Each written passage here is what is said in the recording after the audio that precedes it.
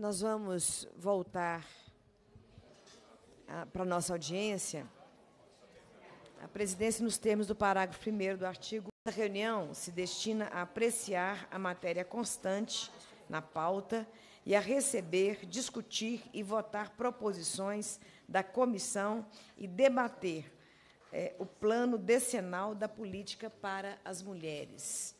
Passa-se a terceira fase da ordem do dia, que compreende o recebimento, a discussão e a votação de proposição da comissão. Nós ainda não estamos com quórum, então vamos seguir em frente com as outras etapas da nossa audiência. Passa-se a primeira fase da terceira parte da reunião, que compreende audiência pública. Essa audiência tem a finalidade de debater o plano decenal da política para as mulheres. A presidência convida para tomar assento à mesa as seguintes convidadas: a senhora Larissa Amorim Borges, subsecretária da Subsecretaria de Política para as Mulheres, da Secretaria de Estado de Direitos Humanos, Participação Social e Cidadania.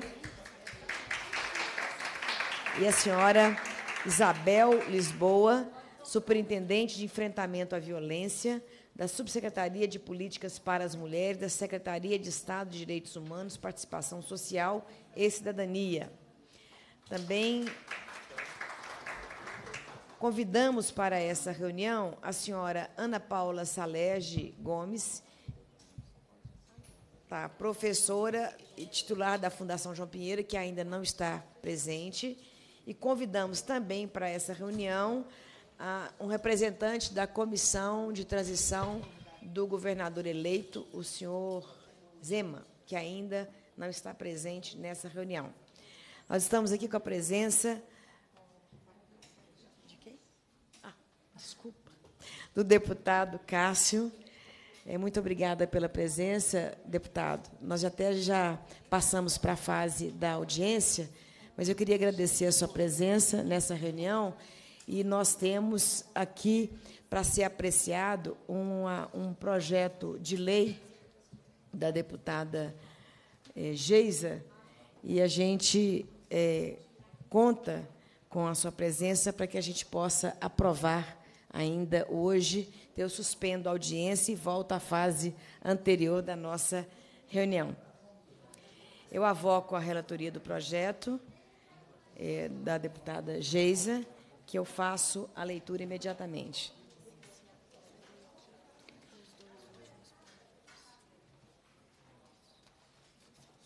Dois últimos.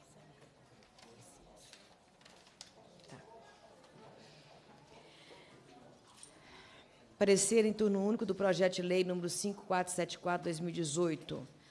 Relatório de autoria da deputada Geisa Teixeira, o projeto de lei em epígrafe visa instituir a Semana Estadual do Combate à Violência Obstétrica, tendo sido distribuído às comissões de Constituição e Justiça, Constituição e, Justiça e de Defesa dos Direitos da Mulher examinado pre preliminarmente pela Comissão de Constituição e Justiça, que concluiu pela juridicidade, constitucionalidade e legalidade da matéria na forma do substitutivo número 1, que apresentou, vem agora o projeto a essa comissão para receber parecer quanto ao mérito nos termos do artigo 188, 190, combinados com os artigos 102 do Regimento Interno.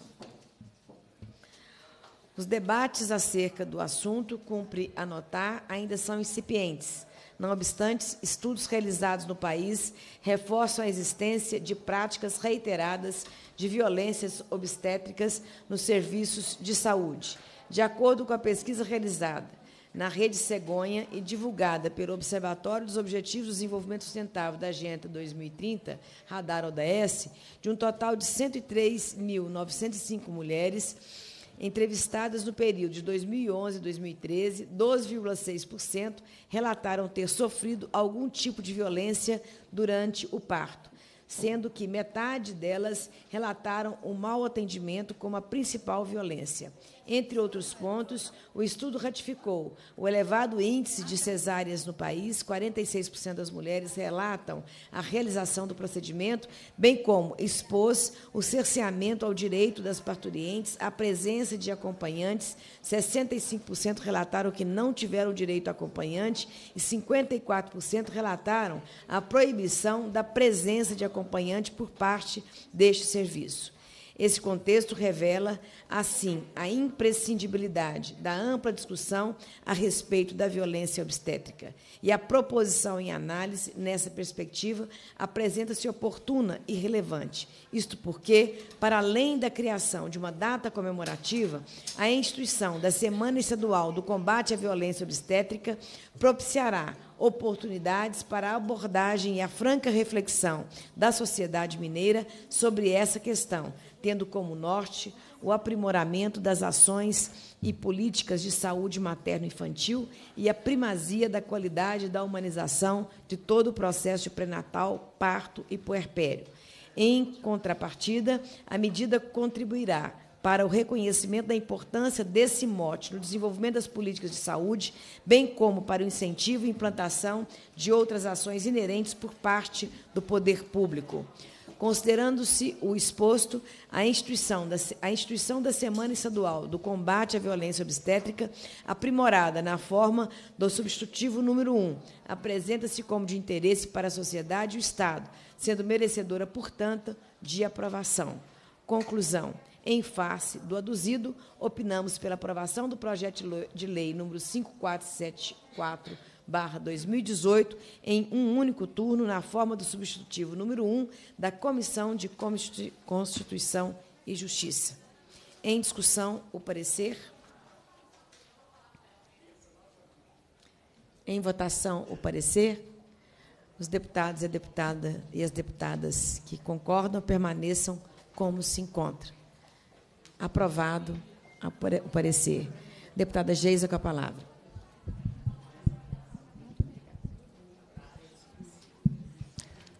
Boa tarde a todos, boa deputada, tarde a todas. Deputada, eu peço Sim. licença a Vossa Excelência para apresentar os requerimentos e, posteriormente, a senhora faria a, a, a, o seu posicionamento para aproveitar o coro do deputado Cássio.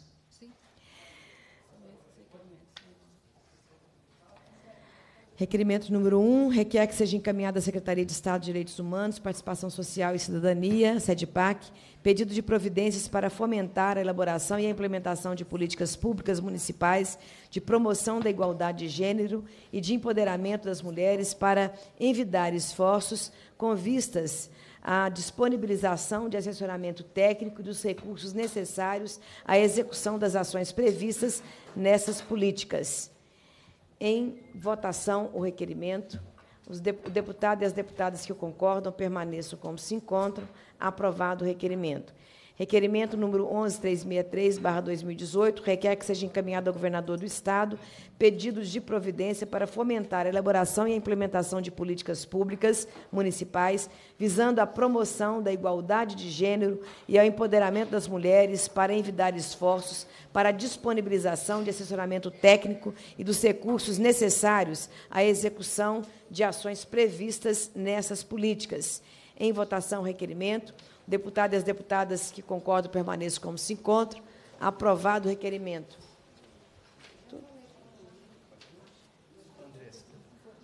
Todos? Pode ler todos de uma vez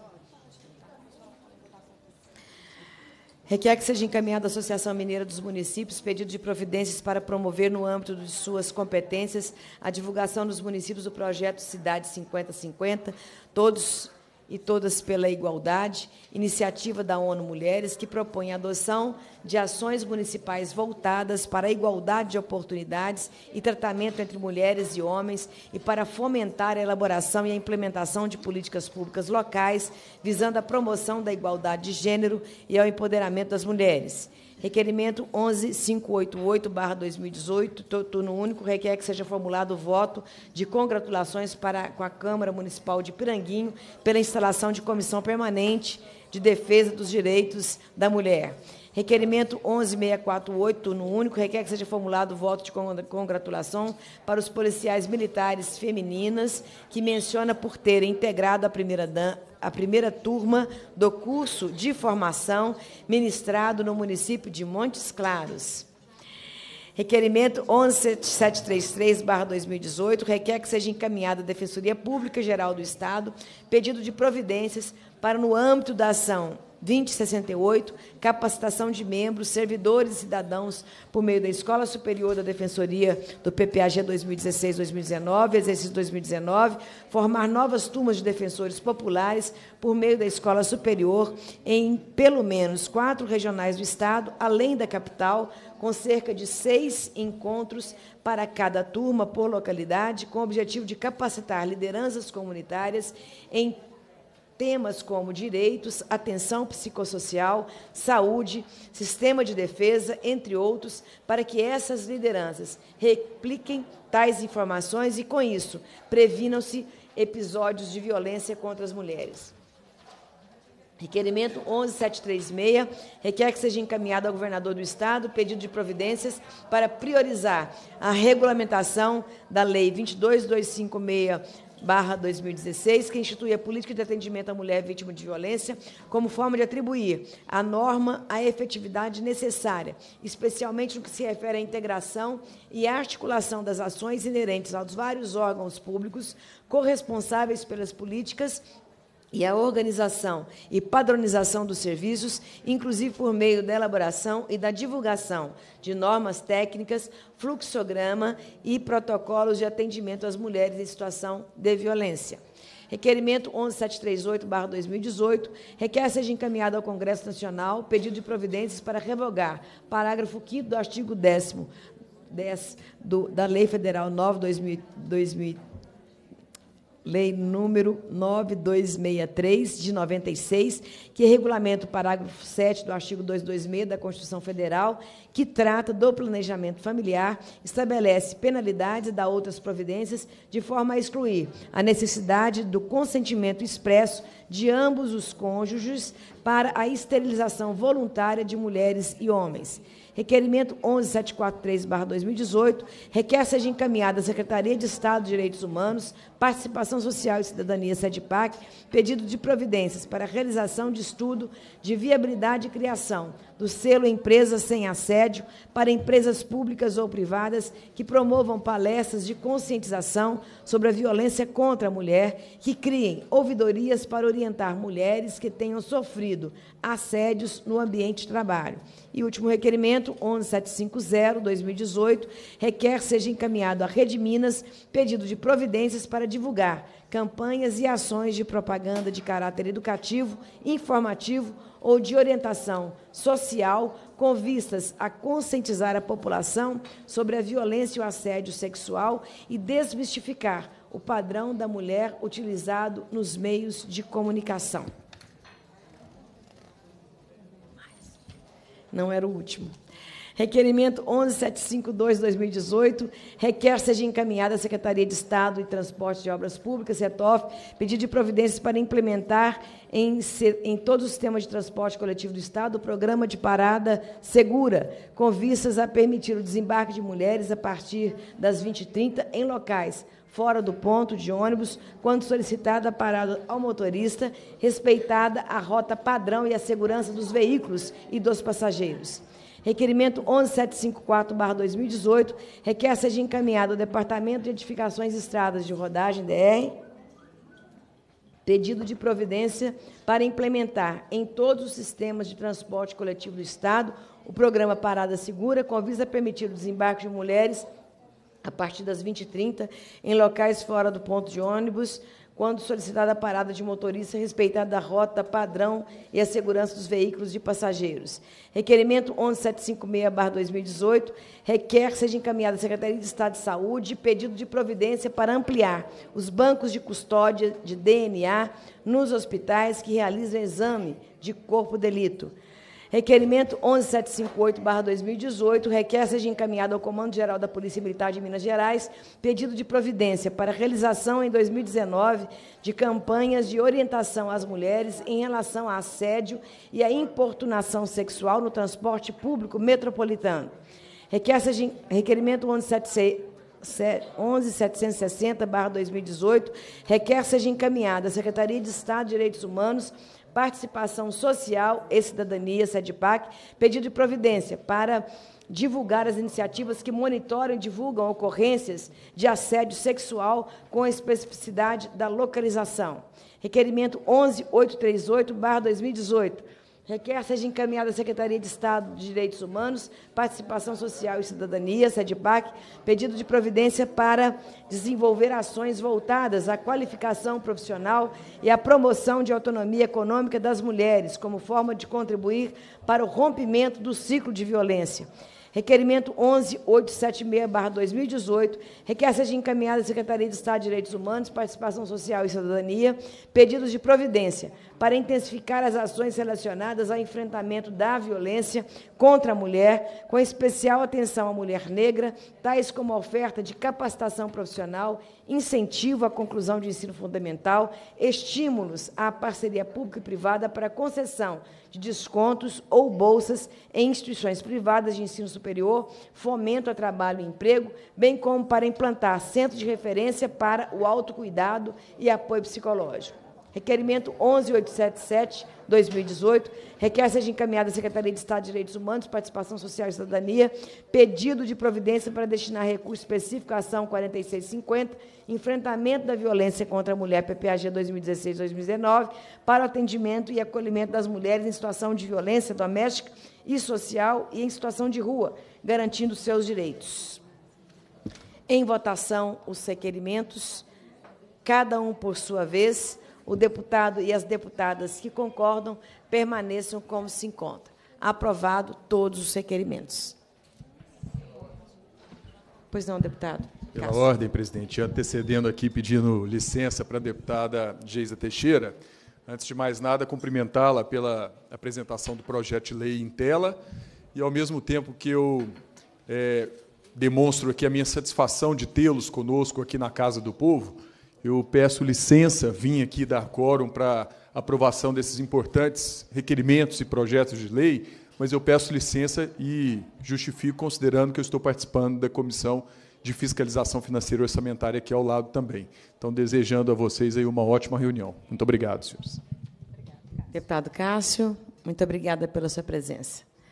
Deputada Geisa, com a palavra para fazer a sua seu posicionamento em relação a essa vitória Grande vitória. Aprovar o projeto no plenário e agora aprovar essa, essa, esse projeto aqui na comissão e que será é, possivelmente aprovado em plenário na próxima terça-feira, né, Sim. né, deputada? É, primeiro, cumprimentar a todas e todos aqui presentes, agradecer a presença das nossas convidadas, é, dizer da nossa alegria. Realmente, ontem foi um momento histórico né, para as mulheres mineiras, uma vez que nós conseguimos a aprovação do nosso projeto de lei 4677, que visa o combate à violência obstétrica no estado de Minas Gerais. Essa violência obstétrica é uma violência que muitas mulheres sequer sabem que ela existe, sofrem essa violência há décadas. São violências cometidas né, pela equipe médica, por familiares também. E as mulheres que, no, no momento né, do, do seu pré-natal, no parto, pós-parto, ou também as mulheres em situação de abortamento, nós temos que ter aí um direcionamento para que elas tenham um ótimo atendimento e não tenham traumas neste momento tão importante de suas vidas. Então, para isso, é preciso sim que nós é, estejamos criando então uma legislação. Nós temos que ter então é, esse projeto de lei muito importante que, se me permitem, eu gostaria de fazer a leitura dele para que, para que ele fique mais é, exemplificado, né, para que tenha realmente conhecimento do que fala este projeto de lei. Então, diz o seguinte, no seu artigo 1. O Estado assegurará às mulheres o direito de receber atendimento humanizado durante o pré-natal, o parto, o puerpério e as situações de abortamento, a fim de prevenir a violência na assistência obstétrica nas redes públicas e privadas de serviço de saúde.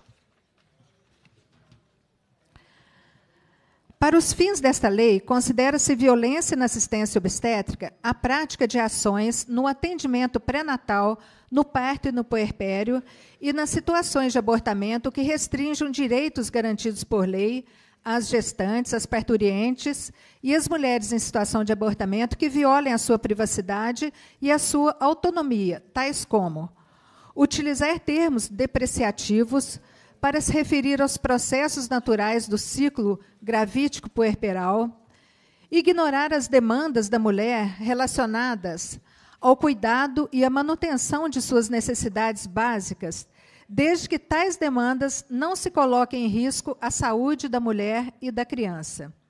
Recusar atendimento à mulher. Transferir a mulher para outra unidade de saúde sem que haja garantia de vaga em tempo hábil para chegar ao local.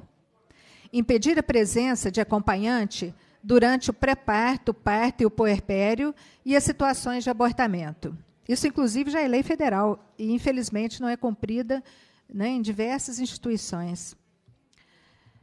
Impedir que a mulher se comunique com pessoas externas ao serviço de saúde impossibilitando-a de conversar e receber visitas quando suas condições clínicas permitirem. Artigo 7. Deixar de aplicar, quando requerido pela parturiente, e as condições clínicas permitirem, a anestesia e medicamentos ou métodos não farmacológicos disponíveis na unidade para o alívio da dor. Impedir o contato da criança com a mãe logo após o parto ou impedir o alojamento conjunto, impossibilitando a amamentação em livre demanda na primeira hora de vida, salvo se a mulher ou a criança necessitar de cuidados especiais. Nono, submeter a mulher a exames e procedimentos cujos propósitos sejam pesquisas científicas, salvo quando autorizados por comitê de ética para pesquisas com humanos e pela própria mulher, mediante termo de consentimento livre e esclarecido. Manter algemada mulheres o trabalho de parto e o parto a mulher que cumpre pena privativa de liberdade, exceto em casos de resistência por parte da mulher ou de perigo à sua integridade física ou de terceiros em caso de fundado receio de fuga. Parágrafo único. A exceção prevista no inciso 10 será justificada por escrito sob pena de responsabilidade disciplinar, civil e penal da agenda da autoridade sem prejuízo à responsabilidade civil do Estado. Artigo 3 No atendimento pré-natal, a gestante será informada sobre os riscos e benefícios das diversas práticas e intervenções durante o trabalho de parto, e o parto. A possibilidade de escolha de um acompanhante para o apoio durante o parto. As estratégias e os métodos para o controle da dor disponíveis na unidade, bem como os riscos e os benefícios de cada método. Os diferentes estágios do parto e a prática utilizada pela equipe em cada estágio para utilizar as mulheres em suas escolhas o direito gratuito à realização de ligaduras de trompas nos hospitais públicos e conveniados com o sistema SUS para os casos previstos em lei. O profissional de saúde responsável pela assistência à mulher em situação de abortamento garantirá o sigilo das informações obtidas durante o atendimento, salvo para a proteção da mulher e com o seu consentimento. Artigo 5 a prática da violência na assistência obstétrica, nos termos do artigo 2, sujeitará o responsável, no caso em que couber, as sanções previstas em lei. Esta lei entra em vigor a partir da data de, da sua publicação. Então, esta foi a lei que foi aprovada ontem aqui no plenário. E a informação né, que nós temos, uma a cada quatro mulheres elas sofrem violência obstétrica ela, essa violência ela é naturalizada, né? Porque as mulheres mal sabem que estão passando por uma violência obstétrica. Então, o que nós queremos também? através deste requerimento que foi aprovado hoje aqui nesta comissão, de número 5474/2018, é que haja então a Semana Estadual do Combate à Violência Obstétrica. Porque como que nós vamos combater uma cultura se nós não colocarmos na pauta, se não houver o debate, a discussão, e não levarmos até todas as pessoas o que seria essa violência obstétrica e como combatê-la? Então, nada mais justo que nós começarmos esse debate seria no dia 8 de março, que é o Dia Internacional da Mulher, do dia 8 ao dia 14, que foi então a data que, que nós escolhemos. Então, fica aí a nossa fala, né, a nossa alegria também dessa conquista, e vamos avançando né, para que cada vez mais as mulheres não tenham seus direitos violados e não sofram, não soframos né, tantas violências como sofremos até, infelizmente, nos dias de hoje. É isso. Muito bem. Deputada Geisa, é, aproveitando para informá-la, e também a quem ainda não tem conhecimento, nós já começamos a fazer as reuniões para preparar o 8 de março. Já fizemos duas reuniões. A próxima reunião será na próxima terça-feira, no edifício Tiradentes, às 9 horas da manhã. E é, a temática do parto humanizado, da violência obstétrica, foi sugerida como uma das temáticas para ser debatidas no 8 de março, se não estou enganada, pela deputada eleita Laura. Acho que, se vocês. Foi esse mesmo, não foi? É, e a gente está formatando assim daquele espírito de agregar o conjunto das contribuições, é, não só do debate, de necessidade de dialogar né, com todas as mulheres, com as diversas mulheres. Né? Então, essa temática, daí a importância, inclusive, do seu projeto, que certamente já estará em vigência a partir do ano que vem, pelo menos do ponto de vista da nossa luta. Parabéns aí e conta com a gente aí para aprovação em plenário. Tá? É, antes da gente iniciar propriamente a nossa audiência, eu quero apresentar para vocês o coletivo de mulheres da Assembleia Legislativa. Por favor, Graziele, do lado de cá. Aqui. É. é. A Assembleia Legislativa tem um coletivo de mulheres também, que se mobiliza, que organizam as lutas, e elas foram responsáveis e com o apoio da Comissão de Mulheres, naquela época ainda extraordinária, né, nós conseguimos regulamentar a lei que dispõe sobre o assédio moral aqui na Assembleia Legislativa, que custei acreditar que aqui acho que era o único poder que ainda não tinha sido regulamentado. Então, aproveito para cumprimentar as trabalhadoras por essa luta, por essa vitória, e hoje também elas pedem a palavra para é, fazer, é, eu não sei exatamente qual que é a mensagem, mas fique à vontade é, para usar o microfone e tornar pública o posicionamento de vocês. Muito obrigada. Boa tarde, deputada Marília Campos. Boa tarde, deputada Geisa. Boa tarde aos convidados. É, eu faço parte do coletivo de mulheres da Assembleia e também sou representante dos servidores aqui da casa. Nós viemos hoje, vou ser muito breve, prometo, primeiro para agradecer hoje e sempre a acolhida que nós temos nessa comissão, as demandas das servidoras e dos servidores dessa casa, a aprovação, a regulamentação da lei contra o assédio aqui foi uma conquista muito importante para nós e foi graças à atuação da comissão que ela aconteceu. E hoje nós vamos entregar aqui um abaixo assinado que foi feito por nós, com o apoio do coletivo, é, que solicita a adoção de uma jornada especial para servidoras gestantes e lactantes da casa. Esse abaixo-assinado foi feito em três dias. Em apenas três dias foram colhidas 588 assinaturas, mais 20 assinaturas foram entregues depois à direção da casa. Foi um abaixo-assinado muito mobilizador, com a participação, inclusive, dos servidores, colegas homens dessa casa. Veio, inclusive, servidora de licença maternidade com o bebê aqui para assinar, tamanha a mobilização e o interesse dos servidores por essa demanda. Esse abaixo-assinado foi entregue à direção da casa em 26 de abril e até hoje não obtivemos resposta. A casa tem uma visão de que é possível gerenciar esse tipo de demanda caso a caso.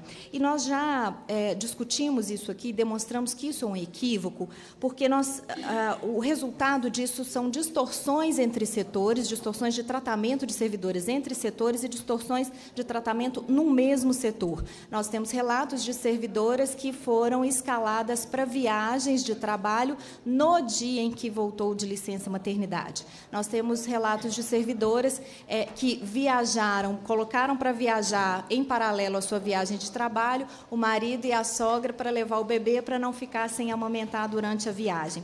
Então, é, são casos que revelam que nós ficamos dependendo da sensibilidade do gestor. E não é isso que nós queremos, depender de qual gestor e qual o nível de sensibilidade que ele tem para a causa. Então, nós trouxemos uma proposta é, que nós entregamos para a direção da casa. Eu vou ler, são só quatro pontos, muito rápidos, vou ler só os pontos, ok?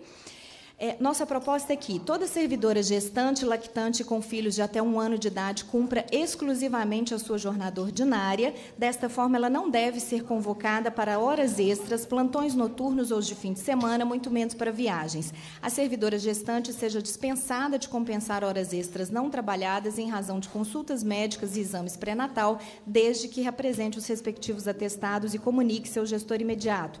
A servidora lactante tenha jornada flexibilizada enquanto durar a amamentação até dois anos de idade do filho para garantir as condições de lactação. As servidoras gestantes da Diretoria de Polícia Legislativa, pela natureza do trabalho que exercem, de risco majorado, sejam dispensadas as atividades operacionais do setor. Para é, demonstrar que nós não estamos aqui inventando a roda, nós estamos entregando aqui também para as senhoras algumas decisões de órgãos importantes na mesma direção. Uma delas é do TST, do Superior Tribunal Superior do Trabalho, a mais recente, de março desse ano, que reduz de 8 para 6 horas a carga de trabalho das servidoras em período de amamentação até o 18º mês do bebê.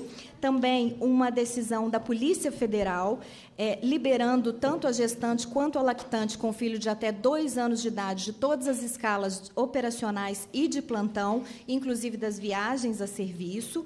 É, também de comparecer, de, sempre que for necessário comparecer a consultas médicas e exames pré-natal, é, será dispensada de compensar as horas não trabalhadas, assim como está na nossa proposta. Uma decisão do governo do Espírito Santo, também de redução de carga horária para gestantes e lactantes. E, por fim, uma decisão do Conselho Nacional, uma resolução do Conselho Nacional do Ministério Público, que permite flexibilização de jornada, inclusive o teletrabalho para suas servidoras. Só para demonstrar que nós não tiramos isso aqui do nada, existem é, é, outros órgãos decidindo da mesma mesma, na mesma direção. É, por fim, queremos ressaltar dois pontos. Primeiro, que, é, além de ser uma proposta razoável, ela lida com uma realidade muito sazonal. Dificilmente nós teremos duas, três é, servidoras grávidas ou em uma amamentação no mesmo setor, porque nós temos setores operacionais muito diversos aqui. E, por fim, apesar de saber que as servidoras de recrutamento amplo é, estão submetidas a regras diferentes e é, é, que dependem de cada gabinete, a nossa expectativa é que, sendo regulamentada essa jornada, os termos da regulamentação das jornadas para gestantes e lactantes para os efetivos, para as servidoras efetivas, sirvam de parâmetro também para as nossas colegas de gabinete. Então, nós entregamos esse, a cópia do, do abaixo assinado e agradecemos muitíssimo, mais uma vez, a acolhida e o espaço para essas demandas. Graziela, agradeço essa, esse reconhecimento da importância que vocês dão, enquanto coletivo de mulheres, a essa comissão, o reconhecimento da nossa parceria na luta de vocês. E quero sugerir, não só para o coletivo de mulheres, mas para todas as lideranças que aqui estão, que essa é uma questão que tem que ser debatida de forma mais geral. Então, eu vou transformar essa questão num requerimento de audiência pública, não esse ano mais, né? mas quem sabe a gente já abrir o ano que vem, promovendo uma audiência pública para discutir com especialistas da área, né? da área da saúde, com lideranças é, feministas, com o Poder Judiciário, né? e que a gente possa, assim como abraçamos a luta para que fosse regulamentada a lei contra o assédio aqui na Assembleia, é que a gente possa, enquanto comissão de mulheres, é, a gente abraçar essa luta para que esse poder né, é, estabeleça critérios mais transparentes é, para garantir o direito da mulher e da criança, né, porque isso aí é um direito duplo, né, doutora? Então, é, eu já, já peço a consultoria para fazer esse requerimento e a gente abre o ano que vem já com essa questão, promovendo uma mobilização é, para discutir uma temática tão importante. Muito obrigada Excelente. pela sua participação. Eu que agradeço. Tá? Muito obrigada. Bom, passamos então a nossa audiência. Eu queria apresentar é, e pedir para todas que eu fazia leitura para levantar o nome para que a gente possa se identificar. Começando pela Larissa, que está aqui. É doutora Patrícia, do Ministério Público, da 18ª Promotoria de Justiça Especializada do Combate à Violência Doméstica, Major PM Cleide Barcelos, é, e comandante, ela é comandante da Companhia Independente de Prevenção à Violência Doméstica, Ermelinda de Fátima Ireno de Melo, superintendente do Consórcio de Promoção da Cidadania Mulheres das Gerais, Gilmara Silva, da Executiva Estadual da Rede de Mulheres Negras. Levanta a mãozinha assim. Aí. Janete Maziero, é, da conselheira do Comitê Nacional de Enfrentamento ao Tráfico de Pessoas, CONATRAP. Mariana Séptimo Rosa de Souza. Ela é representante do coletivo Brejo das Sapas, representando Joseli Rosa Souza, fundadora do coletivo Brejo das Sapas. É, Gisela Lima, assessora técnica, coordenadora da Coordenadoria Especial de Políticas de Diversidade Sexual de Minas Gerais. Major PM Ricardo França eh, do Amaral Costa, chefe da Seção de Direitos Humanos da Polícia Militar. Gisa Magalhães Galdereto, defensora pública é, do Estado de Minas Gerais, assessora de Planejamento e Infraestrutura. Alaide Lúcia Bageto Moraes, coordenadora estadual de Mulheres das Trabalhadoras Rurais. Desculpa. É, deixa eu apresentar. É, é grande. Então, peraí. Então, a Laide, ela é coordenadora estadual das Mulheres Trabalhadoras Rurais, da Federação dos Trabalhadores da Agricultura do Estado de Minas Gerais, representando a Carmélia Maria Viana da Rocha, vice-presidente do Conselho Estadual da Mulher. Cleidilda de Lima de Lima Souza, subsecretária da Subsecretaria de Igualdade Racial, da Secretaria de Estado de Direitos Humanos, Participação Social e Cidadania. Isabel Cristina, que está aqui com a gente, Superintendente de Enfrentamento à Violência contra as Mulheres. Secretaria é, Indira Xavier, representando o movimento coletivo Olga Benário e coordenadora da Casa Tina Martins. Marcela de Paula Batista, chefe de gabinete eh, da deputada Laura Serrano, representando o senhor Guilherme Cunha Andrade, deputado estadual eleito, interlocutor da equipe de transição com a Assembleia Legislativa de Minas Gerais, a senhora Dilma Seabra de Abreu, é, titular do Conselho Estadual de Políticas sobre Drogas da OAB, Ordem dos Advogados do Brasil, representando a senhora Helena Edviges dos Santos de la Mônica, vice-presidenta, reeleita, inclusive, da Ordem dos Advogados do Brasil. Mande meu abraço a ela. Maria Beatriz de Oliveira, representando o movimento do Graal do Brasil. Ana Paula Salege Gomes, professora titular da Fundação João Pinheiro, chegou. Muito bem. É, não está aqui com a gente a doutora Alice Bichal, do Tribunal de Justiça. Nós convidamos. A Defensoria Pública já está aqui. E também a Divisão Especializada de Atendimento à Mulher, do Idoso e à Pessoa com Deficiência, a doutora Danúbia, não veio. Né? Bom, é, eu quero, de forma muito especial, Cumprimentar a Joana. Levantei, Joana, a mão. Joana é filha de uma grande companheira, Maria Auxiliadora Gomes. É uma não está mais com a gente. É uma pessoa que teve uma luta muito importante em defesa dos direitos das mulheres, mas também na luta por justiça social, na luta em defesa das liberdades democráticas, na luta incansável contra as desigualdades e as discriminações que a gente tem no nosso país. A gente são, tem saudade da, da Dora, é, e particularmente pela sua garra, pela sua persistência, pelo seu compromisso e pela sua ternura, que faltam muito nos nossos tempos. Né? Então, Dora está junto com a gente, no coração da gente, viu, Joana? Muito bom você estar aqui com a gente. Uma salva de palmas para Dora, a sua filha.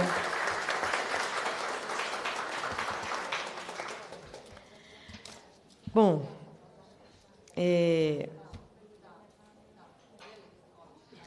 citei todo mundo, gente. A gente costuma saltar algumas pessoas, né?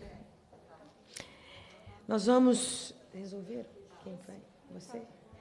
Nós vamos hoje, então, como foi dito inicialmente, apresentar o plano eh, elaborado pela, pela Fundação João Pinheiro, o plano decenal de políticas para as mulheres do Estado de Minas Gerais, né?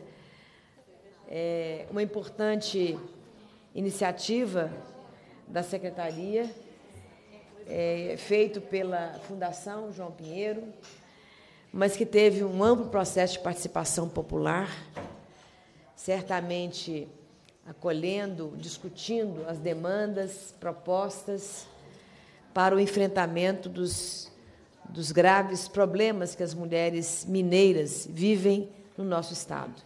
É importante ter um plano e, mais importante ainda, executar o plano.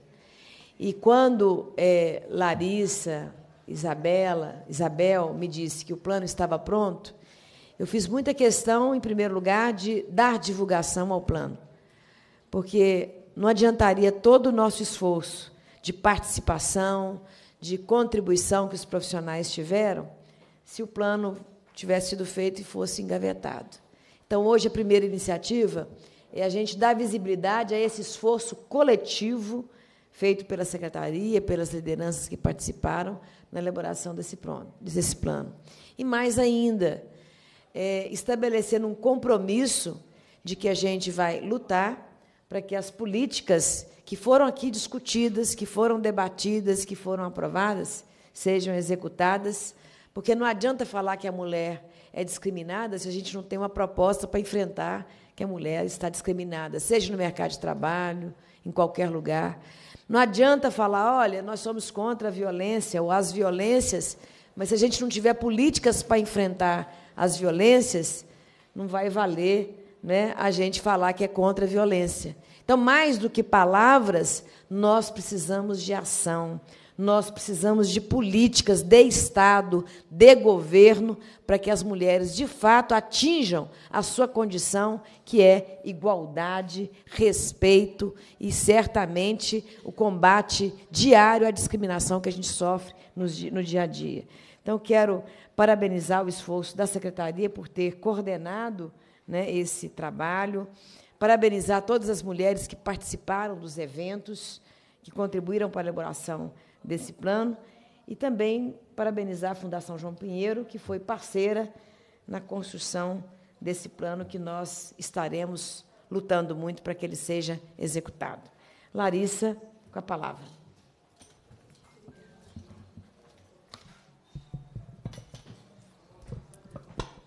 Obrigada, Marília.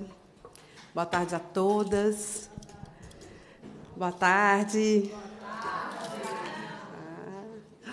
Então, boa tarde. Com a licença e a bênção das ancestrais, eu quero mais uma vez agradecer pela acolhida que a comissão é, nos oferece e apresentar para todas e para todos, para a sociedade mineira, o nosso plano decenal de política para as mulheres. Eu estou muito feliz e muito emocionada, com o sentimento de missão cumprida. porque foi um processo intenso de trabalho coletivo que resultou nesse material, nesse importante é, trabalho que a gente compartilha agora. Foram muitas pessoas envolvidas, foram muitas horas de trabalho, foi muita dedicação e, enfim, a gente conseguiu esse resultado tão primoroso, tão tão bem cuidado, tão é, é, respeitoso com, os processos de participação política das mulheres no Estado de Minas Gerais. Então, eu queria agradecer a cada parceiro, cada parceira que colaborou nesse processo para que a gente pudesse chegar nesse resultado. Né? Foram muitos dias, muito trabalho, gente do governo, gente do movimento social é, colaborando. Né? Então, eu estou muito emocionada e muito feliz por chegar nesse momento de entrega desse resultado, tanto para a comissão quanto para a equipe de transição. Eu queria, eu vou fazer uma apresentação breve. É, Bel e Saled vão vão colaborar na apresentação. Eu vou fazer essa apresentação. E elas também vão junto é, a seguir fa falar também desse processo. Ai, ai. O PowerPoint. É, vamos usar o slide. Então, esse é nosso plano. Todo mundo recebeu um resuminho do plano. Por que, que a gente fez esse resumo? Porque não foi possível ainda imprimir todas as cópias, muitas cópias da versão impressa, porque ele ficou muito grande. Então, a gente fez esse resumo, que é para todo mundo entender um pouco como é que está organizado o plano e poder utilizar no seu dia a dia. Então, pode passar. É, os agradecimentos, né? A gente queria fazer um agradecimento especial à Rede Estadual de Enfrentamento à Violência contra as Mulheres, né? E, e entre as, as, várias e vários é, parceiros que compõem a rede, destacar o consórcio Mulheres das Gerais. É, agradecer a essa comissão, agradecer à Polícia Civil, à Polícia Militar, à Defensoria, ao Ministério Público, à equipe do CERNA, ao Conselho Estadual da Mulher, ao Comitê da Transversalidade para a Igualdade de Gênero, à Fundação João Pinheiro, assim, um agradecimento profundo e especial, é, à Secretaria Estadual de Saúde, parceira de primeira hora, a, ao pessoal da UFMG, da Copasa, da UENG, e o pessoal do IPSENG também, que colaborou ativamente no processo, o pessoal da Casa Tina Martins, e todas as colaboradores e colaboradores que estiveram junto com a gente em algum momento é, nessa importante construção. É, junto com Marília, a gente também faz a nossa referência, a nossa reverência à Dora, que foi uma importante companheira nessa construção, inspiradora desse trabalho, atuante nesse trabalho e que deixa aí muita saudade e um exemplo, um legado de compromisso e luta essa, essa história de fazer um plano de promoção, é, um plano dos direitos das mulheres, ela começou, ela ganhou corpo na conferência, na quarta conferência, no processo de organização da quarta conferência, a gente, é, as comissões presentes começaram a pensar como que a gente vai encaminhar daqui para frente. Então, numa perspectiva crescente das políticas para as mulheres, a gente avança para a construção, é, a, pelo menos avançava para a construção de um sistema nacional de política para as mulheres. E nesse sistema, os planos são importantes para organizar as políticas públicas. E aí, nessa conferência, a gente pensou as comissões é, é, pensaram na importância de organizar todas as, as demandas é, presentes na conferência para que a gente pudesse é, desenvolver essas políticas e acompanhar num período é, mais longo, né? porque de quatro em quatro anos fazer um plano novo não, não é muito viável. Então, foi pensado aí fazer um plano de dez anos. Pode passar. É, a gente traz algumas fotos do processo, né, que foram várias reuniões na fundação, em outros lugares, e para chegar nesse plano que a gente espera que garanta todos os direitos para todas as mulheres. Né? É um plano decenal que busca articular com o PPAG, com a LOA e com os Objetivos de Desenvolvimento do Milênio, é, sustentáveis. É, por que, que a gente fez esse plano com essa organização? Porque ele parte do recolhimento de todas as demandas dos principais espaços de participação é, que aconteceram na, na, última gestão. Então, a gente teve muitos espaços de participação, muitas conferências, então, a gente buscou os resultados dessas conferências e foi garimpando quais propostas têm a ver com as mulheres. E aí, a partir da sistematização dessas propostas, a gente chega nessa compilação que visa se articular aí com o PPAG, com a LOA e com os ODS. Pode passar. Ah, eu não vou conseguir ver daqui? Me empresta um pequenininho. Não, eu quero pequenininho, porque eu não consigo enxergar daqui. Esses dados são muito importantes, essa visão geral do processo. Nós trabalhamos com 668 propostas é, iniciais, que foram é, sistematizadas num primeir, numa primeira fase em 66 propostas, e que, numa num segundo momento, é, foi sistematizado em 38 demandas. E essas 38 demandas estão detalhadas no plano. Nesse processo, a gente teve envolvimento de 293 municípios, o envolvimento de 367 participantes nos diversos encontros e reuniões que nós fizemos. É, foram 131 instituições, entre órgãos públicos e movimentos sociais. Fizemos duas, duas videoconferências, quatro eventos ampliados, né, com um público maior, e 86 reuniões de trabalho para chegar nesse resultado. Então, foi muita gente trabalhando para a gente organizar esse plano. E aí, um dos momentos de atividade ampliada na Fundação João Pinheiro. Pode passar. É, esse aí, essa foi a sistematização, a primeira fase da sistematização das demandas. Muitos de vocês devem ter tido acesso a esse material, que continua disponível. E é desse material que a gente passou para esse segundo passo, que é um detalhamento, que é o que consta no nosso plano agora. Pode passar.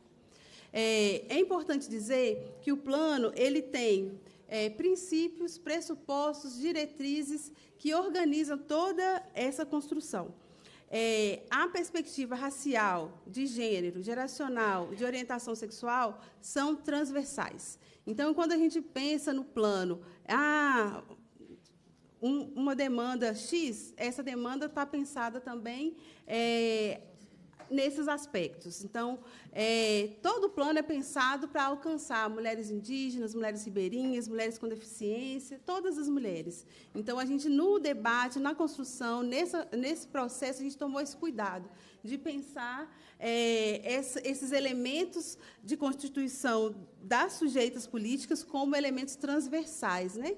E também a educação, para a gente, nesse plano, é transversal. Então, assim, todos a gente organizou em eixos, né?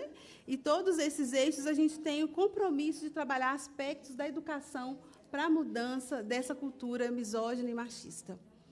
Aí, peraí, rapidinho. Nesse ponto aí também é importante dizer dos princípios que a gente estabeleceu, né? Então, a gente trabalha com os princípios de igualdade, equidade, respeito à diversidade, interseccionalidade, autonomia das mulheres, laicidade do Estado, universalidade e gratuidade das políticas públicas, transversalidade, territorialidade, trabalho em rede, justiça social, transparência dos atos públicos e participação e controle social.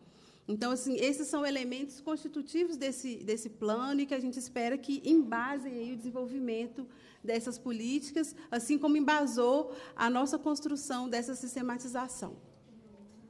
É, uma das fotos dos nossos momentos de encontro, né, a gente teve é, momentos específicos com a população LGBT, com prostitutas e com a população negra.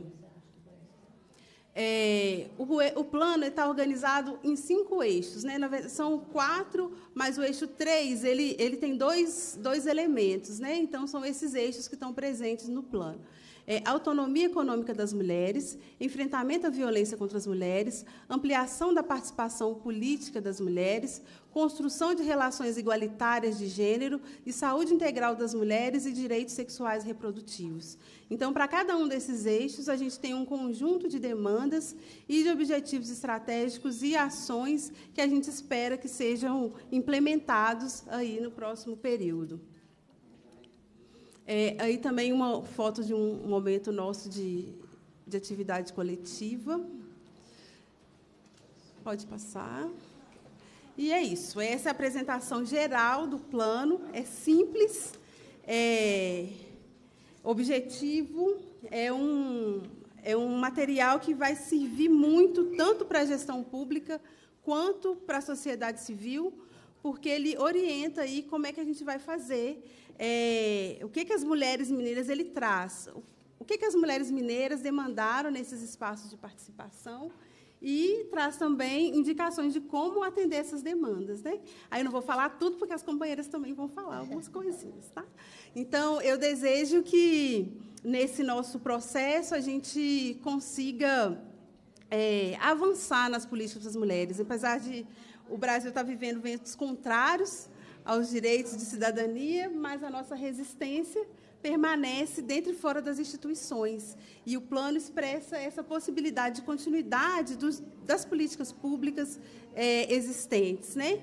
Então, antes de passar a palavra para as minhas companheiras, eu queria aproveitar para fazer essa entrega simbólica do plano, Marília, e fazer também a entrega simbólica do nosso relatório de gestão tanto desse ano quanto do conjunto dos quatro anos é, da gestão de política para as mulheres no Estado de Minas Gerais. Nós tivemos aí uma tentativa muito séria de desenvolver políticas consistentes, encontramos desafios, mas também encontramos possibilidades, fizemos mais do que o possível, mas reconhecemos que ainda tem muito por fazer e a gente acredita que a Comissão de Direitos das Mulheres vai ser um, um, um instrumento estratégico fundamental para que as políticas para as mulheres continuem avançando no Estado de Minas Gerais. Então, eu faço essa entrega simbólica e agradeço pela parceria, pela cumplicidade, pelo compromisso.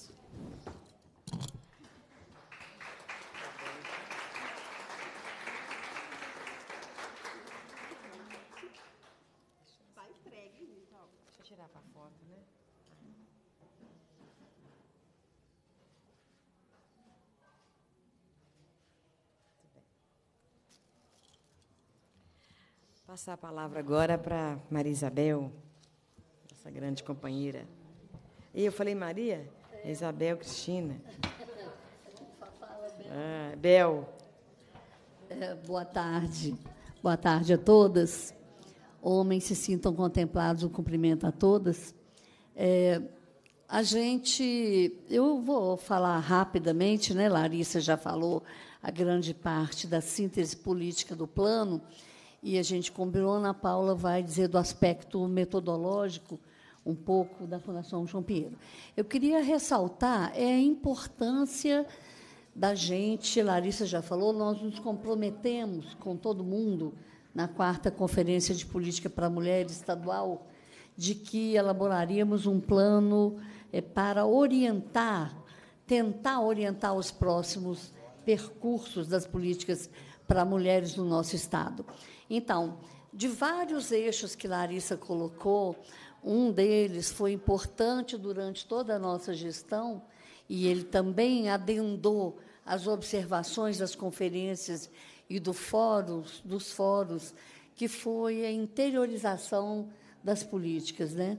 dar uma voz, uma escuta às mulheres do interior das Minas Gerais, que são muitos municípios de 853, nós temos uma capital e temos 852 municípios, né? para que a gente estivesse escutando e adendando na nossa experiência de escuta, visita e, e compartilhando com essas mulheres do interior também essa voz. E é importante que a Assembleia Legislativa de Minas esteja agora recebendo um plano que a possibilidade de estar sendo implementado em Minas Gerais com a participação desses mesmos municípios é fundamental. Outra questão que eu queria ressaltar é a importância da interlocução dos órgãos do governo, secretarias, fundações e autarquias, de uma forma talvez inusitada. Né? A participação de vários órgãos, secretarias, tanto no Comitê da Transversalidade, que se destacou nesse tempo né? na elaboração, na transversalização, das políticas foi fundamental para que a gente tenha agora um processo de compartilhamento na implementação do plano, para que a gente possa ter, nesse nova gestão que se inicia no ano que vem, um comitê já azeitado do ponto de vista de uma implementação, para que ele possa conduzir o processo de implementação e também, é, então, fazendo menção a isso, da sociedade civil organizada, que foi parte o tempo todo da elaboração do plano. Nós temos aqui várias companheiras de vários fóruns, eu queria citar a rede da qual nós fazemos parte, mas assim vários, o Conselho da Mulher, da qual a gente também faz parte, e outros, o Fórum de Enfrentamento à Violência contra as Mulheres das Águas da Floresta do Caldoura, também foi parte conosco de vários fóruns desses. Como a gente vai exercer o controle social da implementação da política? Acho que são duas vertentes importantes. O governo como órgão implementador das políticas. A Assembleia Legislativa, com o papel dela, está impulsionando, cobrando. Nós temos aqui Ministério Público, nós temos outros órgãos, Defensoria, que estão junto conosco nessa elaboração, mas também tem uma sociedade civil organizada que participou cotidianamente da elaboração das propostas, tanto nas conferências, na Conferência de Saúde da Mulher, em todos os fóruns que nós tivemos, que a gente compilou. Então, mais do que a gente está elaborando, né, Larissa? A gente está compilando uma vontade coletiva. A gente espera que ela seja colocada em prática, tanto pelo governo, pelos órgãos, quanto pela sociedade civil, para que exerça o controle social, tanto pelos órgãos do legislativo né, e da justiça, que exerçam seus papéis na execução das políticas um plano decenal ousado, e é ousado fazer um plano decenal, para que a gente tenha um tempo, a gente elabore propostas, a gente modifique. Não é um plano estático, nenhum plano é, né? mas que a gente possa ter várias possibilidades aí para fazer. Eu acho que nós estamos num momento de muita luta, sempre, nunca foi diferente. Né? As mulheres sempre tiveram esse papel de estar lutando. Eu gostaria de desejar a todas nós muita sorte, muita boa vontade e muita força na implementação das políticas para mulheres daqui para frente. E queria terminar com um trechinho brevíssimo da Conceição Evaristo, que diz o seguinte: Eles combinaram de nos matar, nós combinamos de não morrer. Eu acho que isso que nos unifica agora, essa luta fraterna, mas na ponta né, da ordem do dia que nós todas mulheres temos que travar. Então, fica aqui à disposição nossa todas de estar na luta sempre, como sempre, procurando implementar um plano que é fruto da discussão de todas nós aqui. Então, de nós para nós, e a gente volta com o plano decenal de política para mulheres.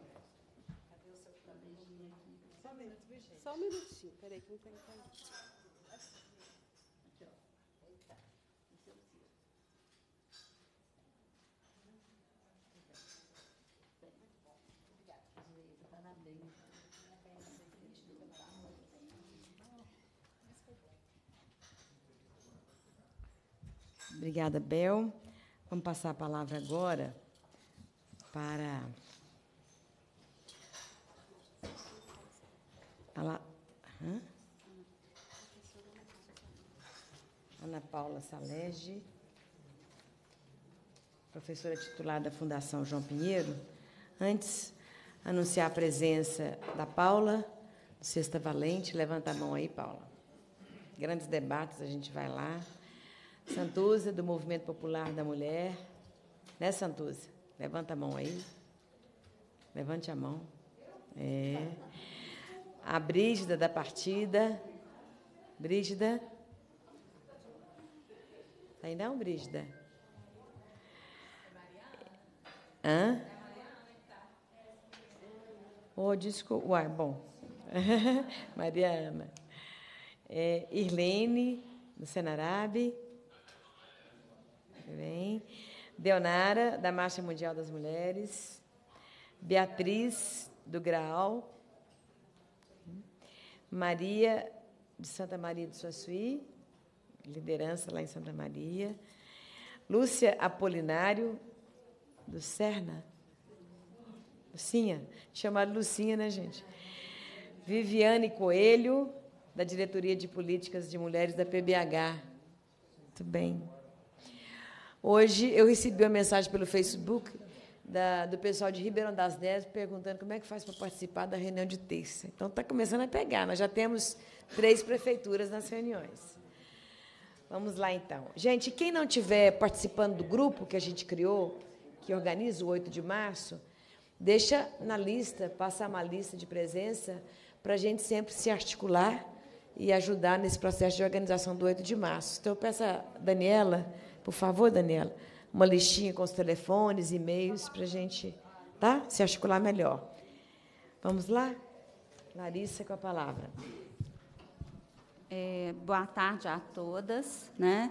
É, eu agradeço, em nome da deputada Marília, né, a a possibilidade da Fundação se manifestar aqui nesse espaço. Estou aqui representando essa instituição, a pedido do nosso presidente, e como coordenadora desse trabalho que foi feito pela Fundação, junto com é, uma mulherada muito determinada e imbuída do, do, do objetivo de não deixar virar gestão sem que esse esse trabalho todo tivesse registrado. É, como vocês todos sabem, a Fundação, acho que um, um, aspecto importante nesse processo é que a Fundação, na realidade, ela não fez o plano. Na realidade, a Fundação ela é um organismo que tem como objeto dar suporte, e eu acho que é isso que a gente tentou fazer através do grupo de pesquisa que a gente tem lá, que é Gênero e Diversidade, Estado, Gênero e Diversidade. A gente tentou estar ao lado da SPM, da CETPAC, ao longo desses últimos anos, com o intuito de apoiar, sempre que possível, na gestão, viabilizando que essa temática não saísse da pauta e que, para além de não sair da pauta, que a gente conseguisse é, deixar elementos que são importantes, sementes, para que as coisas possam florescer, né? a despeito do... A gente vai regar, vai... A gente semeou, agora vamos ter que regar. Basicamente, o, que, o trabalho da Fundação nesse processo, é, e que foi desafiante, é porque a gente sabe que planejar é necessário, ter planos é importante, porque a partir deles a gente se organiza, a gente organiza a ação, né? Se a gente não tem plano, muitas vezes a gente faz muita coisa, mas o resultado é pouco visto, porque as nossas forças ficam divididas. Então, acho que o, o plano é, mais do que tudo, esse chamado para que a gente se reúna em torno de um conjunto de ações que, neste momento, seriam priorizadas para poder, é, como objeto de foco do governo, para que ele atenda às demandas das mulheres, mas também como elemento de controle social. Então, o que nós fizemos, quando essa demanda chegou, a gente tinha um desafio, que é o desafio do tempo. Hoje, diferentemente de alguns anos atrás, a Fundação não pode responder às demandas do Estado com processos de planejamento que são muito longos porque o, tudo hoje é muito dinâmico e muito complexo. Então, é, a gente se viu é, desafiado a criar, adaptar metodologias, aproveitar o que estava sendo feito, até porque demandas de mulheres nós temos, as mulheres falaram, se expressaram durante todo, todo o governo. Então, essas falas estavam postas. O que, foi, o que nós nos perguntamos é como que a gente transforma essas falas num processo. Então, a primeira coisa que eu quero destacar no plano é que ele não tentou reinventar roda. Então, ele, ele partiu de demandas que já estavam postas. É, as mulheres, muitas vezes, as próprias mulheres colocavam. Mas a gente já falou isso na conferência, na primeira, na segunda, na terceira, na quarta, na conferência municipal, na estadual, na nacional. A gente falou isso no fórum, a gente falou. Então, a tentativa foi: se essas vozes já foram projetadas, nós estamos precisando é parar para ouvi-las.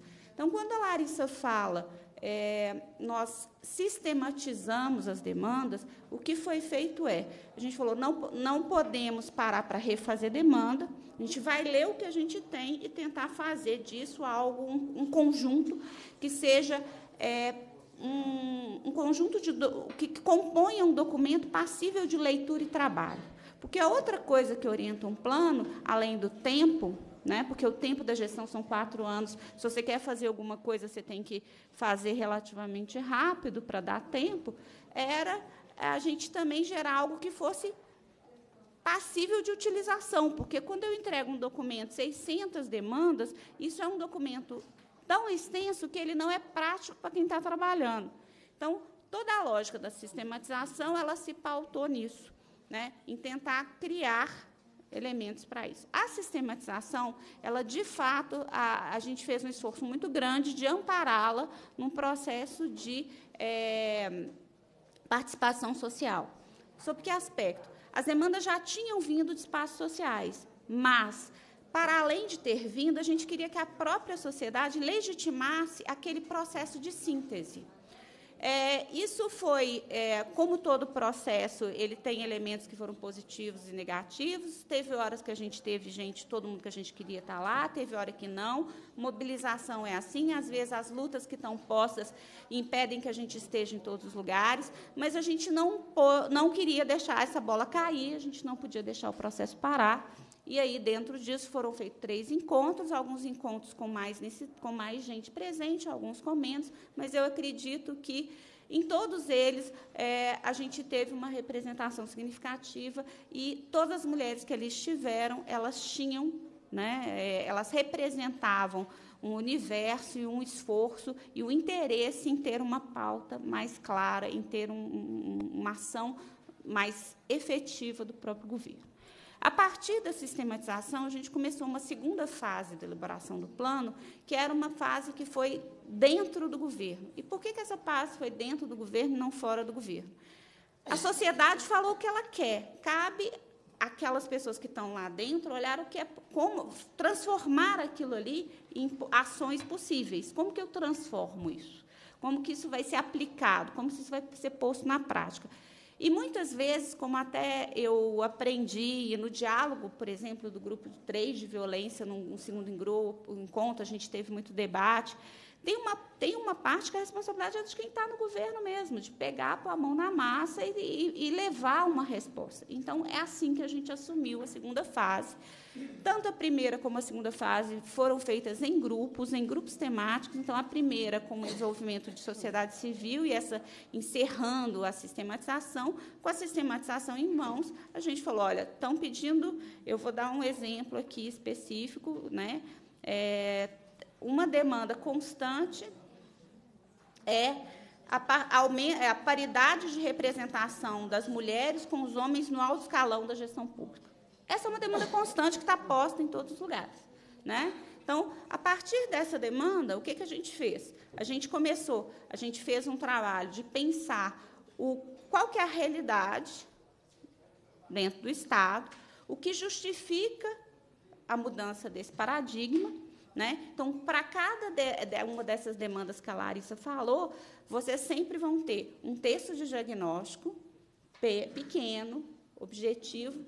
Alguns vão ser um pouco maiores, mas a, a maioria são textos curtos, seguidos de uma justificativa, e, em seguida, a gente vai ter uma meta e algumas ações. Então, nesse caso especificamente, que eu estou tomando como referência, o diagnóstico ele vai se pautar num, numa percepção, eu não sei se vocês sabem, mas é, no governo estadual hoje, os, é, os registros do sistema de pessoal, eles é, nem todos, acho que a polícia não consta desse registro, desse, não usa o mesmo sistema, então a gente vai ter aí uma pequena distorção no dado.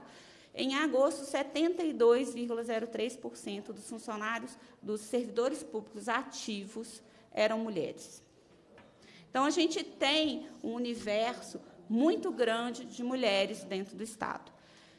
E é a partir desse diagnóstico de que a gente tem esse tanto de mulher, mas a gente, quando a gente olha o mundo oficial, a gente só tinha é, duas secretárias, duas presidentes de, de autarquia, mais duas subsecretárias, que a gente evidencia quão subrepresentada e quão a questão da mulher ficou subdimensionada. Então, esse é um exemplo Né? A partir disso, então, a gente justifica a importância da mulher, a presença da mulher nesse espaço de alto escalão, e a gente cita, então, um conjunto de. É, a gente cita um conjunto de ações que são propostas. Então, a nossa expectativa era o quê? Em 10 anos, nós queremos alcançar essa paridade. Né? Então, a proposta é, em 10 anos, alcançar a paridade de representação no AMETA, no alto escalão da gestão pública estadual, especialmente nos cargos que exercem funções estratégicas, representados habitualmente nos cargos de primeiro ao terceiro nível hierárquico. Então, a gente tentou sempre deixar claro onde que a gente queria. Eu não, ah, qual que é o alto escalão? Normalmente, alto escalão são os, os três primeiros níveis. A gente tentou fazer essa caracterização para você saber onde você ia fazer o cálculo da paridade. Né? E todos os órgãos Então, assim, a gente, aí a gente chegou nas ações. Direta e indireta? É, direta e indireta. Tá? É, a partir desse dado, então, a gente, a partir das, da, da, meta, a gente tentou, então, propor ações. As ações é, propostas, aí eu estou trazendo sempre só, eu foquei nesse exemplo.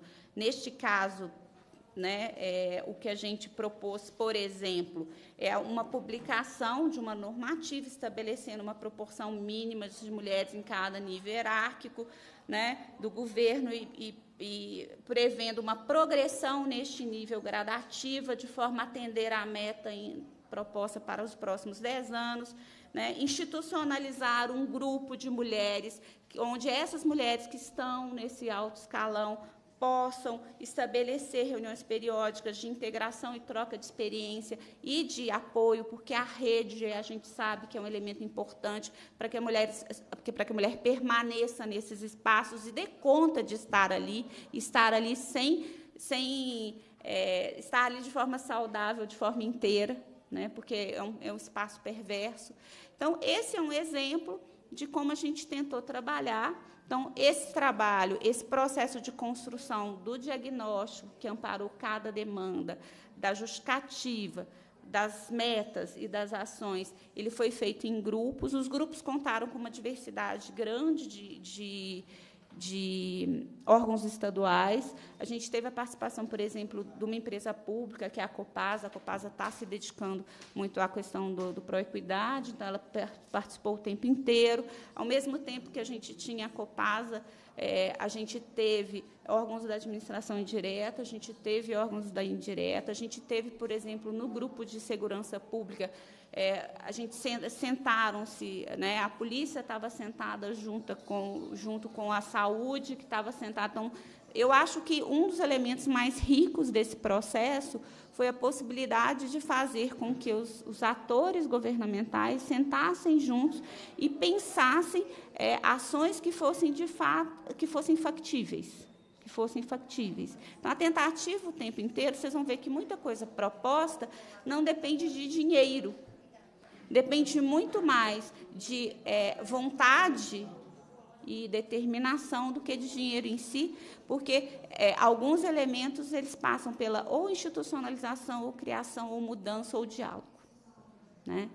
É, de forma geral, então, os três, é, a Larissa falou rapidamente dos, dos eixos. É, vocês vão estranhar um pouco porque a gente falou quatro eixos, mas a gente tem um, um eixo A e B. Né? Esse eixo A e B é porque o eixo 3, é, durante o, o, evento que foi feito em maio, é, o grupo de trabalho optou por fazer essa divisão. É, nos questionaram, vamos fazer eixo 1, 2, 3, 4, 5? A gente acha que a gente eh, gradativamente vai se transformar em cinco eixos, mas a gente queria deixar a marca do trabalho que foi feito junto à sociedade aqui, para que a sociedade veja que o que nós trabalhamos é o que foi negociado naquele espaço. Então, nesse caso, o eixo B, o eixo 3, ele é dividido em ampliação da participação política e construção de relações igualitárias de gênero. São duas ações que têm um peso, é, que têm uma dinâmica diferenciada, eu diria, apesar de ter elementos que a justifiquem, que são comuns. Né? É, todos esses grupos de trabalho tiveram um técnico, dois técnicos da fundação, um ou dois técnicos da fundação acompanhando. Então, foi um processo de, de construção coletiva, a muitas mãos. e que a gente sabe que não é perfeito, mas que a gente tem certeza que é, o que está ali é um, um, um instrumento importante de planejamento e de monitoramento da política social, da política para as mulheres. Né? A expectativa de lançar lá agora, porque quando a gente estava fazendo, teve momentos que as pessoas questionaram: vocês vão fazer isso agora? A gente falou: não, não podemos parar, vamos continuar, e a despeito de entregá-lo no início, fim, meio de mandato, o importante é saber que as pessoas que estão recebendo esse plano, seja uma equipe de transição, seja um, um representante do movimento social, ele tem ali descrito, ele tem uma, um documento que é uma referência para, um, para o estabelecimento de um diálogo e que é essencial para que a gente, de fato, consiga né, é, alcançar as metas que estão aqui propostas e sair do lugar que a gente está e chegar eventualmente numa conferência e falar, olha, eu estou pondo coisa nova na pauta porque eu consegui tirar algumas, né? É, eu fiquei feliz hora que eu, no início, hora que eu cheguei, que eu vi alguns dos requerimentos. Eu acho que aqueles que lerem vão ver que algumas coisas casam com coisas que já estão andando mas apesar de parecer que é um, em alguns momentos parecer que a gente simplesmente pôs no papel aquilo que está posto, né? Esse pôr no papel aquilo que, que, tá, que já está rolando, que está tá nas bocas de todo mundo, ele tem um elemento importante que é ele ganha concretude, porque muitas vezes as vozes se vão no vento, né? Mas os, a, as folhas, é, as folhas é mais difícil do vento carregar. A gente tem aí o, um, um objeto concreto de luta de, e de, é, de é um elemento sobre o qual eu acredito que é possível construir é, é, ações efetivas, algumas relativamente simples, mas que de fato podem alterar a, a, a realidade das mulheres. É, eu não trouxe aqui uma apresentação, eu tinha pensado numa apresentação PowerPoint, é, muito, é, o documento tem 140 páginas, um documento extenso. A gente tentou, nossa proposta inicial era fazer uma revista, uma coisa dinâmica, que toda mulher pudesse ler, e, e eu acho que esse é um desafio ainda do governo. Né? Mas é, é, isso. Eu acredito que, apesar dele ser um documento ainda com formato tradicional é, e, e, denso, ele está escrito numa forma simples que vai permitir a todos aqueles que tiverem em mãos entender a que ele veio. É isso. Muito obrigada. Eu tinha esqueci uma coisa. Eu tenho que fazer, fazer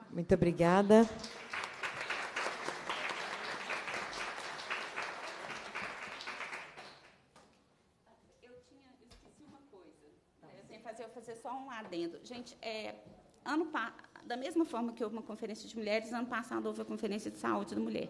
Então, é, eu acho importante a gente frisar que é, durante todo esse processo a gente conseguiu uma coisa interessante que é a movimentação da saúde paralela à movimentação da SPM.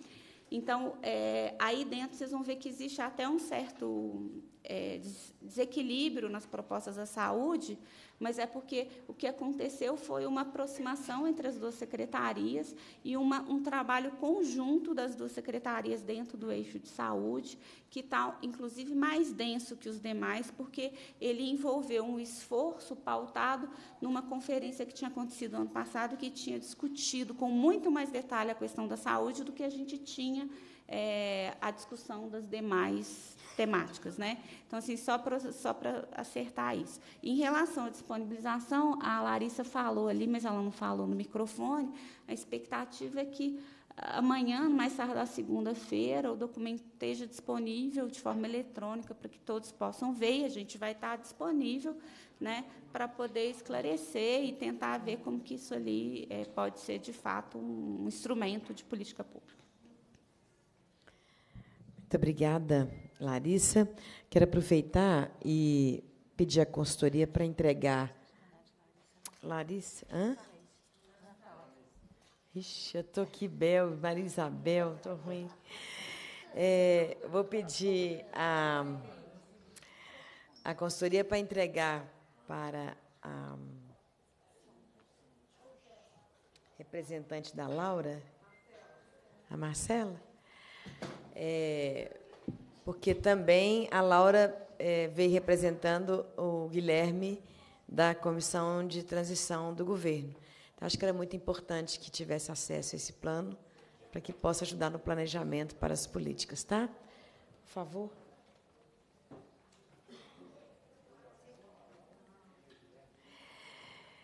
É... Gente, me desculpe aí as inversões dos, dos nomes, tá? Quero aproveitar e apresentar a Carla Caldeira, coordenadora da Coordenação de Atenção à Saúde das Mulheres e Crianças da SESMG. Bem-vinda. Também a Ana Renata e Daiane, muito bem, da Coordenação da Atenção à Saúde das Mulheres e da Criança da SES. Muito bem. Obrigada pela presença. É, a consultoria deu uma passada para verificar quem seriam as primeiras oradoras e como somos muitas, nós não vamos ter todo o tempo do mundo e também nós não vamos querer esgotar o nosso debate. Seria mais uma consideração, né, gente? Posicionamento inicial sobre essa iniciativa da Secretaria e da Fundação João Pinheiro, sugerindo isso, né? E nós vamos começar com a nossa companheira Janete, de três, quatro minutos, tá, gente? Por favor. Então, boa tarde, deputada Marília e Geisa. É um prazer estar aqui novamente nessa comissão né, das mulheres, que agora é oficial para nós e tem feito um trabalho muito bom. Eu queria ser breve, eu só queria dar um informe que foi publicado o decreto. Eu sou a Janete Mazieiro, do Conselho Nacional dos Direitos da Mulher. E nós tivemos quatro dias em Brasília, debruçada, para poder garantir né, as, nossas, as nossas demandas que nós temos agora pela frente. E nós conseguimos aprovar, e já foi publicado no Diário Oficial o decreto para a realização da quinta Conferência Nacional de Política para as Mulheres. Deixamos garantido ainda nesse governo, porque a gente não sabe como é que vai ser esse princípio de governo, e é muito importante, porque já está vencendo os quatro anos da, da quarta conferência. Queria dizer que eu fiquei muito feliz e quero parabenizar a deputada Geisa, por essa, esse grande trabalho que eu andei participando em vários momentos sobre a proteção da mulher na, no parto, né? sobre a, a violência obstétrica. Então, ela falou hoje aí, né? acabou de, de fortalecer, firmou, né, deputada? Porque foi um, um momento muito importante para as mulheres gestantes nós estamos estudando muito isso lá no Conselho Nacional e está sendo uma coisa assim, mas é, é, é muito debatido em todos os estados, porque o que está acontecendo com a violência obstétrica é uma coisa assim estarrecedora. Então, parabéns, deputada, por esse grande trabalho, esse legado que você vai deixar aí para as mineiras, né, para sempre. Parabéns e parabenizar ali as as meninas né, que expuseram aí o nosso plano, né, que eu acho que está bem sintetizado, achei muito interessante a, a proposta, uma, uma, coisa mais, mais simplificada né, de, de ser conseguido e de seguir. Então, parabéns, vamos todas e todos né, lutar para que a gente consiga, de fato, implementar essas ações, porque não adianta pôr no papel se a gente não, tem, não ficar atenta né, para a gente poder conseguir realizar esses projetos. Era isso, muito obrigada. Obrigada, Janete. É, agora, para as suas considerações, Mariana Séptimo Rosa, representante da coletiva Brejo das Sapas, repre, é, representando Joseli Rosa Souza, fundadora da coletiva Brejo das Sapas. Boa tarde. Boa tarde a todas as pessoas presentes. Para quem não conhece o coletivo Brejo das Sapas, né, é, tem uma atuação né, de quatro anos aí que vem pautando nas sexualidades, né, principalmente nas lesbianidades e bissexualidades, né, e debatendo é, os binarismos de identidade de gênero, né? a partir de uma discussão também que se propõe antirracista, né? pensando no lugar é, dessas pessoas da sociedade, né? a gente promovendo esses espaços de formação política, de cultura, que é muito importante, né? com ensaios de teatro, rodas de conversa, grupos de estudo, é uma biblioteca que a gente tem permanente, né? É a atividade do autocuidado e na saúde mental, né, com o coletivo de psicólogas negras. Então, todos estão convidados aí para conhecer o coletivo Brejo das Sapas, né? Então, eu venho nesse momento agradecer, né, pedir licença aqui para ocupar essa casa.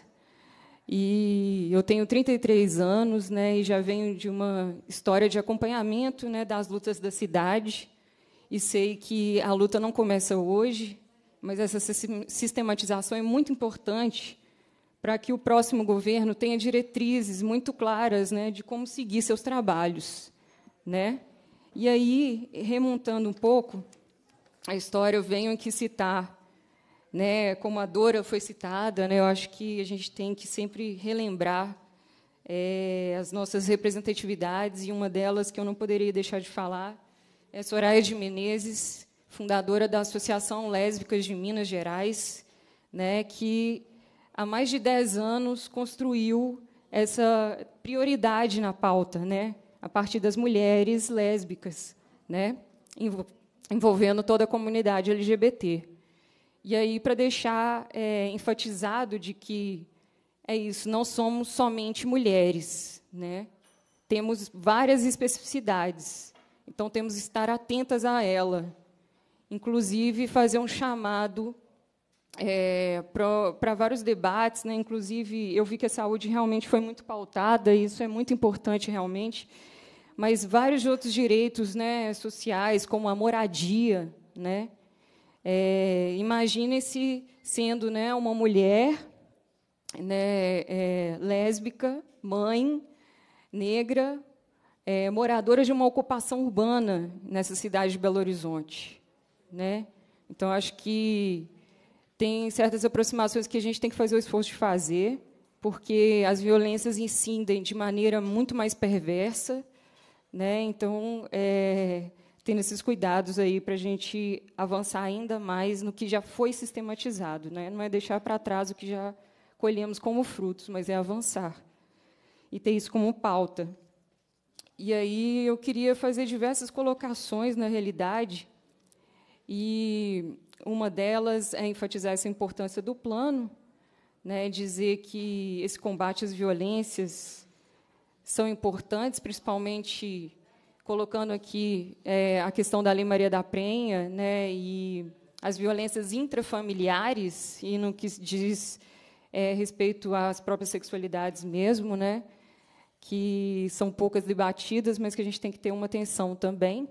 Né, é, violências vindo de familiares e não somente dos casais, né, como a própria expulsão de lares e os próprios é, crimes sexuais, como o estupro corretivo, né, que recai sobre essas pessoas. Né, e fazer um chamado também para a gente debater com mais força e mais afinco a branquitude e fazer um chamado para todas, né, todas as pessoas brancas, principalmente, toda a sociedade, porque esse debate não se ausente das nossas, das nossos círculos de conversa, das nossas rodas de diálogo, porque a gente tem que ser mais estratégico, né, se posicionar socialmente e agir de forma que realmente todas as violências se afindem, né? A gente tem essa meta, que seja uma utopia, mas que a gente caminhe nessa utopia diariamente. E aí, por último, faço um convite para vocês. Eu integro né, também, sou advogada popular, né, integro a Rede Nacional de Advogados Populares. É, recentemente teve um encontro nacional em Caruaru, né, que onde reunimos, tem a carta política, convido a todos a conhecer. Mas é nessa, é nessa caminhada, né, conjuntamente com o coletivo Margarida Alves, né, de assessoria popular, é, Terra de Direitos, é, CONAC e Nangolo, haverá um lançamento né, do livro Racismo e Violência contra Quilombos no Brasil, dia 10 de dezembro, 19 horas, será no Brejo das Sapas. Então, será uma oportunidade de conhecer esse trabalho, esse livro, que também é, é muito importante para as lutas, e conhecer o espaço também Brejo das Sapas. Então, todos todos convidados para conhecer. Agradeço a oportunidade e espero que realmente é, planos como esse sejam políticas de Estado, né, para realmente a gente conseguir avançar. Obrigada. Obrigada, Mariana. É, antes de passar para a Gisela, é, aproveitar para reforçar o convite, entidades, lideranças.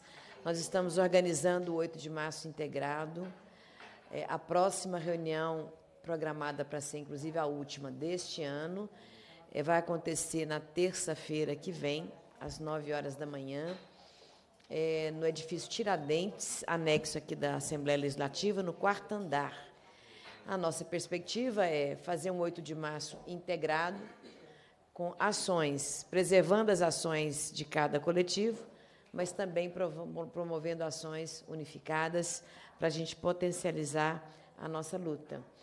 À noite, às 18h30, nós faremos uma reunião com a juventude feminina no CRJ, na Praça da Estação.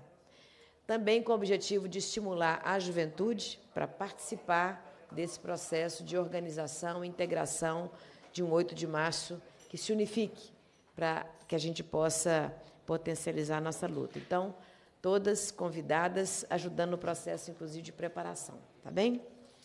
Próxima, então, é a nossa Gisela. Obrigada. É, eu peço licença à deputada, às deputadas, mas eu queria cumprimentar a mesa na pessoa da subsecretária e presidenta do Conselho, Larissa Borges. E assim eu cumprimento a mesa e a todas as pessoas presentes. É, eu estou representando a Coordenadoria da Diversidade Sexual da Secretaria de Direitos Humanos é, anterior a isso, eu fazia parte do Conselho Estadual da Mulher, sendo a primeira mulher trans a ocupar este conselho. E vou referenciar também a minha companheira e amiga Daniela Awad, mulher lésbica, que representava o, a, o conselho no interior. Então, a, esse plano que hoje aqui se apresenta tem muito das nossas conversas, dos nossos debates, das nossas formações dentro de um conselho que pouco se pautava as mulheres LGBT, como também na história da construção da política pública, pouco se tinha. Quando a gente discute as prostitutas, as profissionais do sexo, as trabalhadoras sexuais e coloca num plano de Estado. Então, fica aí um desafio, um caminho andado para as próximas gestões, que está falando de 10 anos. É, é ousado, é desafiador, eu acho que as responsáveis, nós responsáveis por construir um documento, também não, a gente não tirou da ideia, foi debatido-se muito nas conferências, participei de muitas delas, e eu também não posso deixar de observar quando a gente discute um plano de um eixo de direitos, de saúde integral das mulheres e direitos reprodutivos, muitas propostas saíram da Conferência de Saúde da Mulher e, paralelo a isso, Parabenizo a deputada Geisa pelo projeto de lei, que é muito importante, garantir a segurança das mulheres, mas eu acho que a gente não pode engessar, visto que nós temos que garantir os direitos reprodutivos dos homens trans. É um assunto tabu, é um assunto polêmico, a gente trabalha e está acostumada com isso, né, deputadas e militantes aqui da área, mas engessar uma política que não agrega e que possivelmente nos próximos anos a gente está falando de política pública, de um projeto de lei que vai, de fato, esbarrar nesse engessamento da palavra sempre ligada à mulher. É, eu não poderia deixar de fazer essa observação estando à frente de construção de política pública de uma coordenadoria. Mas ressalto aqui a importância do, do projeto de lei e o respaldo a tanta violência, principalmente das mulheres negras na violência obstétrica. É, a minha fala vai ser breve, é só mesmo uma consideração a, a, ao, ao, trabalho que foi difícil, foi árduo, fazer, agendar, porque a, é construído com, com a atenção da sociedade civil, respeitando e entendendo as dificuldades, os trabalhos, principalmente tratando de mulheres que têm dupla, quádrupla jornada para construir esse trabalho. Então, fica aqui somente a, o parabéns a todas as envolvidas. E os homens que deram algum suporte, parabéns também, mas eu acho que esse protagonismo é das mulheres e que merece todo o nosso apoio, empenho para que damos continuidade nos no todo o tempo que foi dedicado à construção, que a gente agora debruce só para que a política seja, de fato, efetivada. É só isso. Obrigada. Obrigada, Gisela. Próxima é a Laide. Boa tarde a todos. É, quero cumprimentar as nossas deputadas, Marília, Geise, Larissa, Bel e Ana Paula. É, dizer para vocês que construir esse plano foi foi caminhar na história, né? Caminhar na vida de cada mulher que que deu a sua opinião, que deu seu palpite a partir das conferências. Cada mulher que saiu lá do seu cantinho para participar da conferência municipal, para participar da conferência estadual, para participar dos grupos de debate. Então, quer dizer, esse plano tem um pedacinho de cada mulher do nosso estado. Então, parabenizar todo, todos, todas que participou desse processo, não só a subsecretaria, mas todas que compôs esse grupo. Né? O primeiro desafio foi vencido. Agora, eu acredito que o outro desafio é colocar na prática. Né? Acho que, eu acredito, Larissa, que a partir do momento que tiver online, que fosse encaminhado para todos os municípios, porque é lá que os problemas acontecem. É lá. Então, para que cada mulher que participou desse processo se vê, se vê nessa história um pouquinho, acho que é isso que a gente tem. É, um, é o primeiro passo que nós temos que fazer, que cada município receba para que seja multiplicado lá na ponta e chegue, e chegue realmente lá. Acho que era isso que eu queria trazer para vocês e vamos seguir junto. Uma sociedade justa, igualitária, onde as mulheres tenham vez, voz e ocupe realmente a paridade que tanto, que tanto almejamos né, dentro, dentro da nossa sociedade.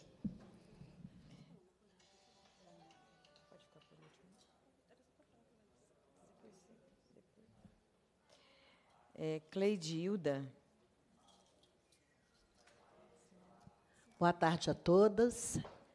Boa tarde. Cadê a Geisa? Acho que ela deu uma saidinha. Deputada Marília Campos, Larissa, minha companheira lá de trabalho, Movimento de Mulheres Negras, Bel, e Ana Paula Salerge. E demais companheiros e autoridades presentes. Eu estava aqui pensando o seguinte: será que a gente começou do jeito certo? A gestão. É, porque nós também, a questão racial, eu sou subsecretária de Igualdade Racial, nós também só chegamos no final do nosso projeto, do nosso plano estadual agora. E nós tentamos, durante a construção, usamos um pouco a metodologia que as mulheres estavam usando. Eu cheguei a participar de alguns momentos, e quando eu conseguia garantir a questão de raça naquele, naquela política pensada, eu corria para um outro lugar, e nós somos só quatro da minha, da minha secretaria, quatro mulheres, a gente tentava ver, revezando em que lugar que a gente estava. Aí, eu lembro de um grupo temático que eu participei, não sei quem estava nesse grupo, acho que a Ana Paula estava lá. Aí, quando uma das companheiras virou e falou assim, não, também tem que colocar a questão racial, eu falei, agora eu já posso ir. Porque eu consegui ganhar uma companheira que garantisse naquela temática o recorte racial. Porque eu acho que, às vezes, o Brasil, e a gente, quando vai produzir política pública, a gente tem dificuldade de tocar na questão do racismo e da perversidade do que é o racismo no Brasil. Não sei se vocês viram ontem é, último, é, a última pesquisa apresentada pelo IBGE, quando ele fala é, da, da, do aumento da pobreza e dos 54 milhões de pessoas que já voltaram para a linha da extrema miséria e apresenta a população negra como esse público. Se você pegar a questão da violência, você vai ver que o feminicídio, quem prevalece no, né, é, é, na mortalidade, né? seja ela do feminicídio é, é, doméstico, seja ela de outra forma, a maioria são mulheres negras. Aumentou para 54,8%, sendo que as mulheres brancas caíram de 9,8%, ou seja, aumenta a violência, o feminicídio com as mulheres negras e diminui com as mulheres brancas. Se a gente for olhar também, se eu pensar a população jovem negra, diminui a população jovem branca, é, que foi violentada, né? É, no, no, no, foi vítima de violência, de homicídio, etc. e tal, e da juventude negra triplica. Um país que mata um jovem negro a cada três a cada, três, cada um minuto você assassina três jovens negros, tem alguma coisa errada nesse país.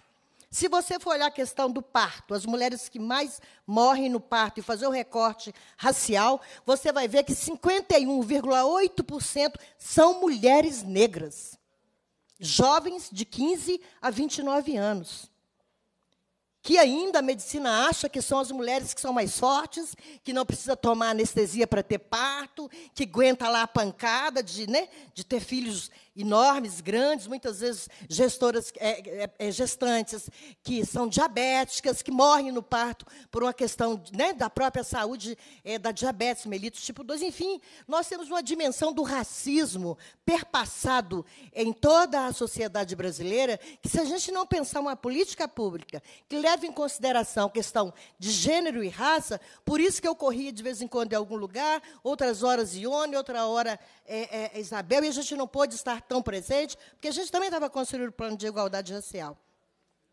A gente pode fazer um belo projeto, mas se a gente não pactuar com a gestão, isso pactuar significa, né, temos experiência disso com a saúde, com a educação, né, com o transporte, com a moradia, a gente não vai melhorar a qualidade de vida da população mineira. Eu estou falando mineira porque eu já trabalhei no governo federal. E quando eu saí de lá, a ministra não tinha conseguido pactuar que a população negra era mais pobre do Brasil. E aqui eu quero falar para vocês que a população feminina, trans, né, LGBT, todas elas que sofrem o maior nível de violência são negras ou negros. Então, é, essa importância desse plano, Bel e Larissa, é que a gente consiga. O nosso tempo é muito curto nessa gestão, nós estamos terminando, né? O nosso governo perdeu a eleição, uma pena, é, poderia ter continuado, é, é conseguir pactuar. O que foi inviabilizado, porque eu chamei um fórum chamado FIPI, Fórum de Promoção da Igualdade Racial, há quase três anos eu estou tentando que esse, esse decreto saia da mesa do nosso jurídico para que ele pudesse ser aprovado. Por quê? Porque esse fórum chamado FIFIR é uma experiência do governo federal da gestão de Lula, que a gente dialogava a pauta da questão racial com todas as secretarias do governo. Então, eu vou saber o que a educação tem de recurso para trabalhar o combate ao racismo na sala de aula. Eu vou saber o que a saúde tem para trabalhar a questão da violência contra as mulheres negras porque não pode fazer política pública. Eu estou acompanhando isso já tem um tempo. Eu participo desde a primeira conferência de mulheres e desde a primeira conferência de negros, em que melhora para a população negra e atrapalha para a população negra, pobre e preta. Tem alguma coisa errada. Se o Brasil não considerar que a grande maioria da população é população negra, e essa grande maioria, que representa 54, alguns por cento, segundo o último censo do IBGE, ela é 72% das, da mais miserável, da mais pobre.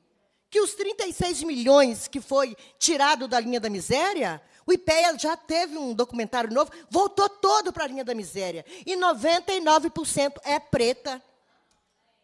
Então, pode ser um plano maravilhoso para mim, que sou uma mulher que tenho leitura, que sou formada, que tenho, sou empoderada.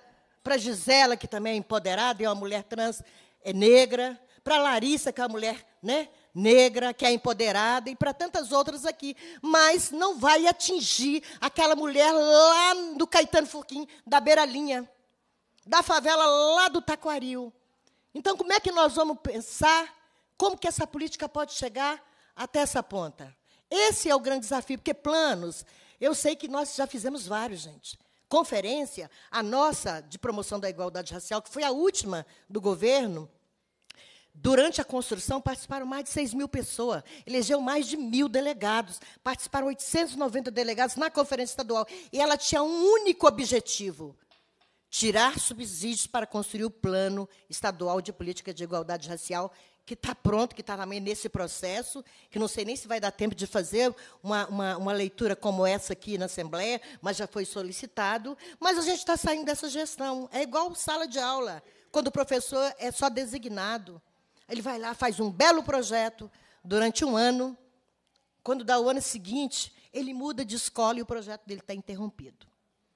Se a gente não conseguir pactuar dentro do governo, é, e sem medo de ter perdido a eleição, mas pactuar com a secretaria, com quem está lá, quem vai ficar, com os gestores que são da casa, que são comprometidos com a pauta, vai ser mais um plano para ficar dentro da gaveta. E se a gente não repensar de que forma nós vamos abordar essa população que está lá naquela ponta, nós também vamos perder esse belo plano. Haja visto, vocês estão vendo a leitura aí dos mais médicos. 8.500 médicos, né? não, é, não é isso? Mais médicos? Conseguiram selecionar 225, é, dois mil e pouco, alguma coisa assim, é, conseguiram selecionar mais, 200 e pouco, porque o resto não quer ir lá para a favela da Pedreira para do Lopes, atender a comunidade, que é onde está a comunidade preta, ir lá descer nove horas e meia de barco, descendo o Rio Negro do Amazonas, para chegar numa outra comunidade que não tem banheiro, que tem doenças primárias, então, é, é, isso. Se a gente não pensar de que forma que você atinge esse povo que precisa ser atingido, é o povo preto e pobre, que são as mulheres negras e pobres, nós vamos fazer e vamos continuar tendo belos planos, belos projetos, mas a gente não resolve a questão da situação econômica e social de inclusão desta população. Obrigada e Obrigada, tenhamos um bom plano né, para deixar para essa nova gestão. A próxima, Indira. É, boa tarde a todas presentes, né, a todos também. Queria cumprimentar a mesa também na pessoa da Larissa, subsecretária, e todas as demais sintam-se bastante contempladas, porque, primeiro, que eu acho que hoje é um dia de celebração, né? Porque a gente está chegando, e eu me coloco a gente, porque, enquanto sociedade civil, é, e militante né, dessa, dessa pauta é, das mulheres, né, pelo enfrentamento contra, enfrenta, contra a violência contra as mulheres, assim, a gente se sente partícipe desse processo por ter ido lá, por ter arrumado confusão. Aí a Ana Paula teve que parar tudo e chegar, deixa eu entender qual é o BO que está pegando aqui. Mas porque, de fato, a gente chegou no momento de maturidade em que a gente conseguiu estabelecer é, diretrizes para o que ser feito, né, o, o que fazer. Então, de fato, se a gente olhar a construção nossa dos movimentos sociais, né, das gestões, nas pautas de enfrentamento à violência contra as mulheres, a gente consegue construir, ao longo desses anos, um arcabouço de como fazer enfrentamento a essa violência contra as mulheres. E, na verdade, o que a gente precisa agora, para além dos recursos, acho que foi uma coisa que a gente também pautou muito nos nossos encontros, né, não é somente a necessidade do teu recurso, mas é, de fato, um compromisso de Estado em fazer valer, em fazer acontecer a política de enfrentamento à violência contra as mulheres. E eu falo isso é, em um estado que é gigantesco, como foi dito, são mais de 850 municípios, que permeia realidades territoriais extremamente distintas, é, e que a gente precisa levar em consideração todos esses fatores. E aí, nesse sentido, né, o resumo ele me contempla bastante, porque, no meu entendimento, assim, no nosso entendimento, esse plano, para ser efetivado, ele precisa ter transversalidade, então ele precisa dialogar com todos esses elementos que foram colocados e apresentados aqui pelas minhas colegas que me antecederam. Ele precisa ter territorialidade, porque ele precisa dialogar com esses, essas distintas realidades dessas mulheres que estão espalhadas nesses municípios, e ele precisa ter um trabalho em rede. Porque se a gente não conseguir constituir uma política para além, maior, que se relacione com tudo o que está sendo feito nos diversos municípios, pelos diversos movimentos, pelas gestões, pela sociedade civil, a gente vai ter muita dificuldade de fazer, de fato, um plano que dê solução e que dê vazão à situação que a gente tem vivido em relação à violência contra as mulheres. Porque eu acredito que não dá mais para a gente dormir com o barulho de que mais de 400 mulheres são assassinadas no nosso Estado todos os anos. E elas não são assassinadas somente porque elas foram vitimadas pelos seus companheiros. Elas são assassinadas porque, desde sempre, há uma ausência do poder público em assegurar políticas de emancipação para essas mulheres, né? de, de assegurar alternativas para que essas mulheres possam sair dessa situação de violência. Então, nós estamos iniciando um novo processo, uma nova gestão, e fico muito feliz em saber que tem uma representação né, da transição aqui, para a gente poder consolidar e dar continuidade àquilo que vem sendo construído a duras penas por uma série de movimentos, de gestores, de pessoas comprometidas com essa pauta, porque a gente está falando não é de uma minoria, nós estamos falando de mais de 50% da população brasileira, da população do Estado. Então, a gente não está falando de uma minoria, a gente está falando de um segmento vital. E, como foi dito pela Ana Paula, dentro do serviço público é mais de 70%. Então, como pensar em construir política que beneficie mais de 70% do da... dos servidores? Mas não é só dos servidores da casa, né? como aqui a gente teve a presença do coletivo de mulheres da casa, mas é do Estado, porque, se a gente for olhar, é em todos os setores, somos nós que estamos lá e somos nós que estamos sendo vitimadas de todos todos os dias. Então, eu fico muito feliz de estar aqui por ver esse compromisso sendo assumido e pactuado pelos diversos segmentos que, que aqui estão.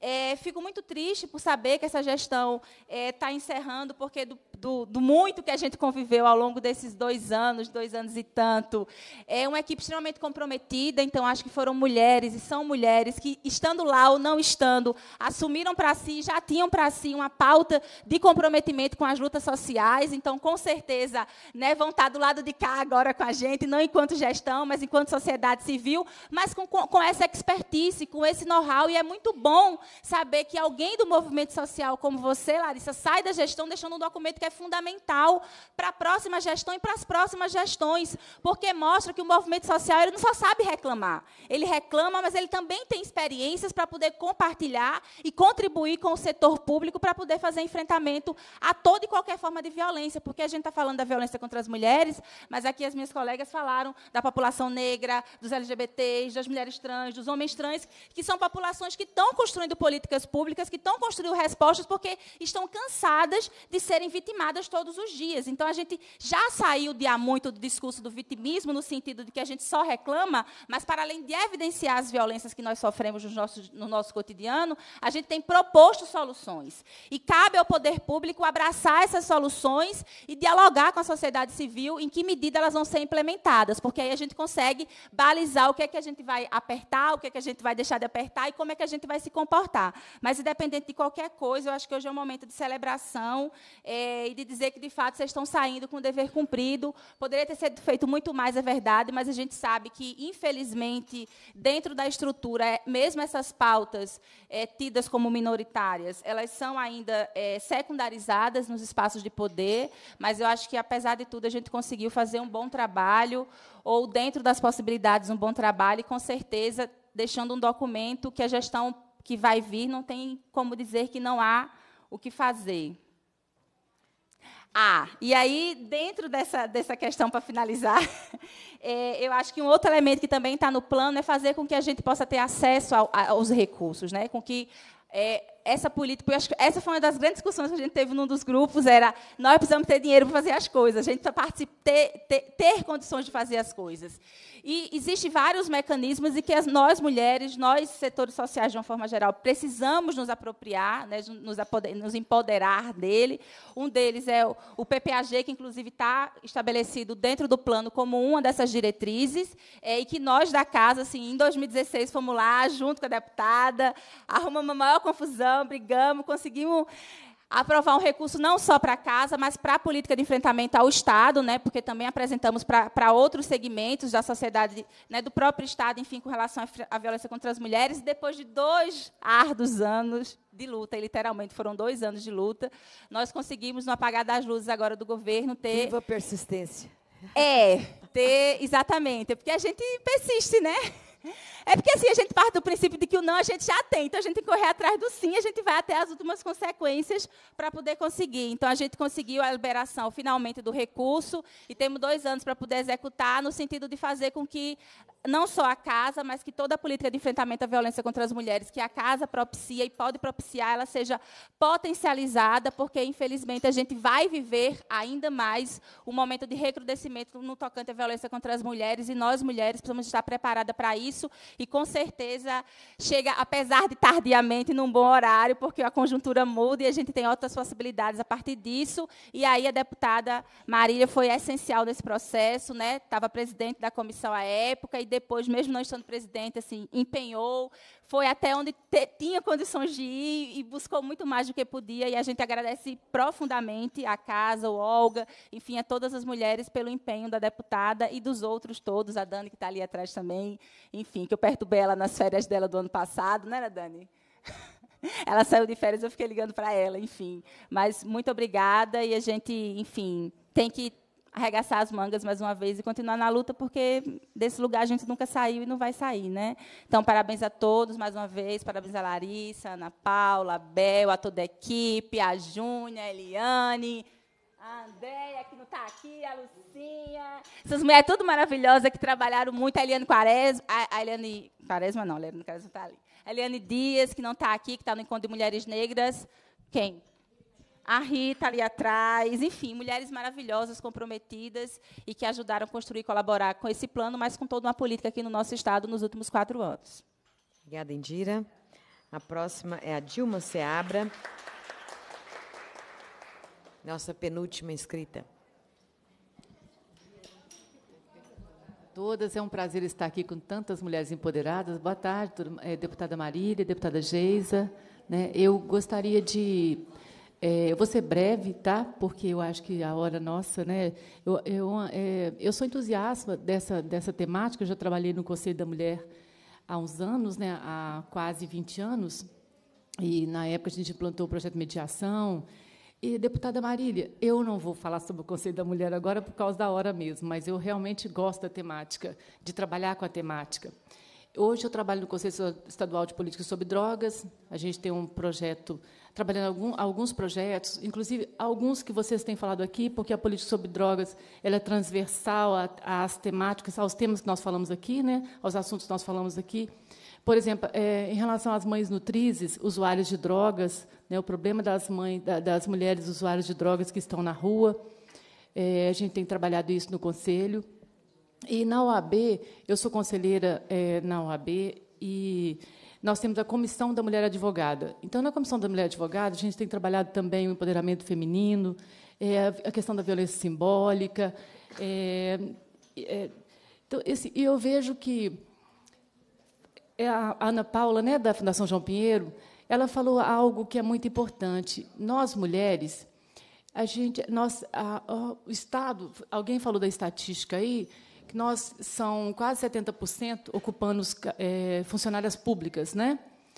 E é, nos, nos, espaços de poder a gente bem, vê bem é bem menos, bem, bem pequeno as mulheres ocupando os, o alto escalão. Não sei quantas secretárias de Estado tem, duas secretárias de Estado, né? É, e a gente vê o seguinte: será que é por falta de competência? Será que nós temos, né, intelectualmente, será que nós estamos. O que, que, que, acontece? Por que, que a gente não ocupa esses espaços? Porque eu penso o seguinte: nos concursos públicos, né, a maior aprovação nos concursos públicos é feminina. Né? Então, quer dizer, a gente é capaz. Tem algo errado aí que nós não estamos ocupando esses espaços. A gente precisa é, conversar mais sobre isso. Então, deputada, eu penso que essa conversa nossa aqui é muito importante, que a gente precisa muito falar sobre isso. E a outra coisa que eu gostaria, e já terminando, de falar é sobre é, a participação dos homens. Eu quero parabenizar aqui o Major. Major, parabéns por estar aqui conosco. Né? Também tem um outro colega, são dois colegas aqui conosco, tirando né, a, a assessoria aqui da Assembleia. Mas eu penso que a gente tem que falar para os homens, porque nós falamos aqui, olha o universo para quem a gente está falando. Nós estamos falando para mulheres. Os homens precisam nos ouvir. Né? Nós precisamos é, é, enviar essa mensagem, é preciso que essa mensagem chegue para os homens. Não é verdade? Então a gente tem que arrumar uma. Eu não sei a solução. É, é todo mundo aqui acho deve assim. Muitos de nós aqui te, sabemos dos problemas, né? Solução a gente está buscando. Eu quero, finalizando, realmente eu quero agradecer e quero parabenizar esse plano que eu gostaria muito de conhecer e levar para a comissão da mulher advogada, né? Que a gente tem a nosso principal objetivo é a defesa do cidadão, da cidadã. Então eu gostaria muito de ler né, para a gente poder, quem sabe, esse plano vai contribuir com as nossas ações na UAB. Tá? E eu quero deixar um abraço aqui doutora Helena Della Mônica, eu tenho certeza que ela seria sensível a todos os assuntos tratados aqui. Tá? Muito obrigada. Muito obrigada, Dilma. Acho que é a primeira vez que a OAB está vindo numa, numa reunião nossa, né, e reforçar o convite para terça-feira. Acho que seria importante que a OAB se integrasse a essa movimentação que nós estaremos fazendo para organizar o 8 de março. E pegando só um pedacinho da sua fala, é, a questão da autonomia das mulheres é, passa pela emancipação né? econômica, financeira. É, nós sabemos que somos as primeiras a sermos desempregadas.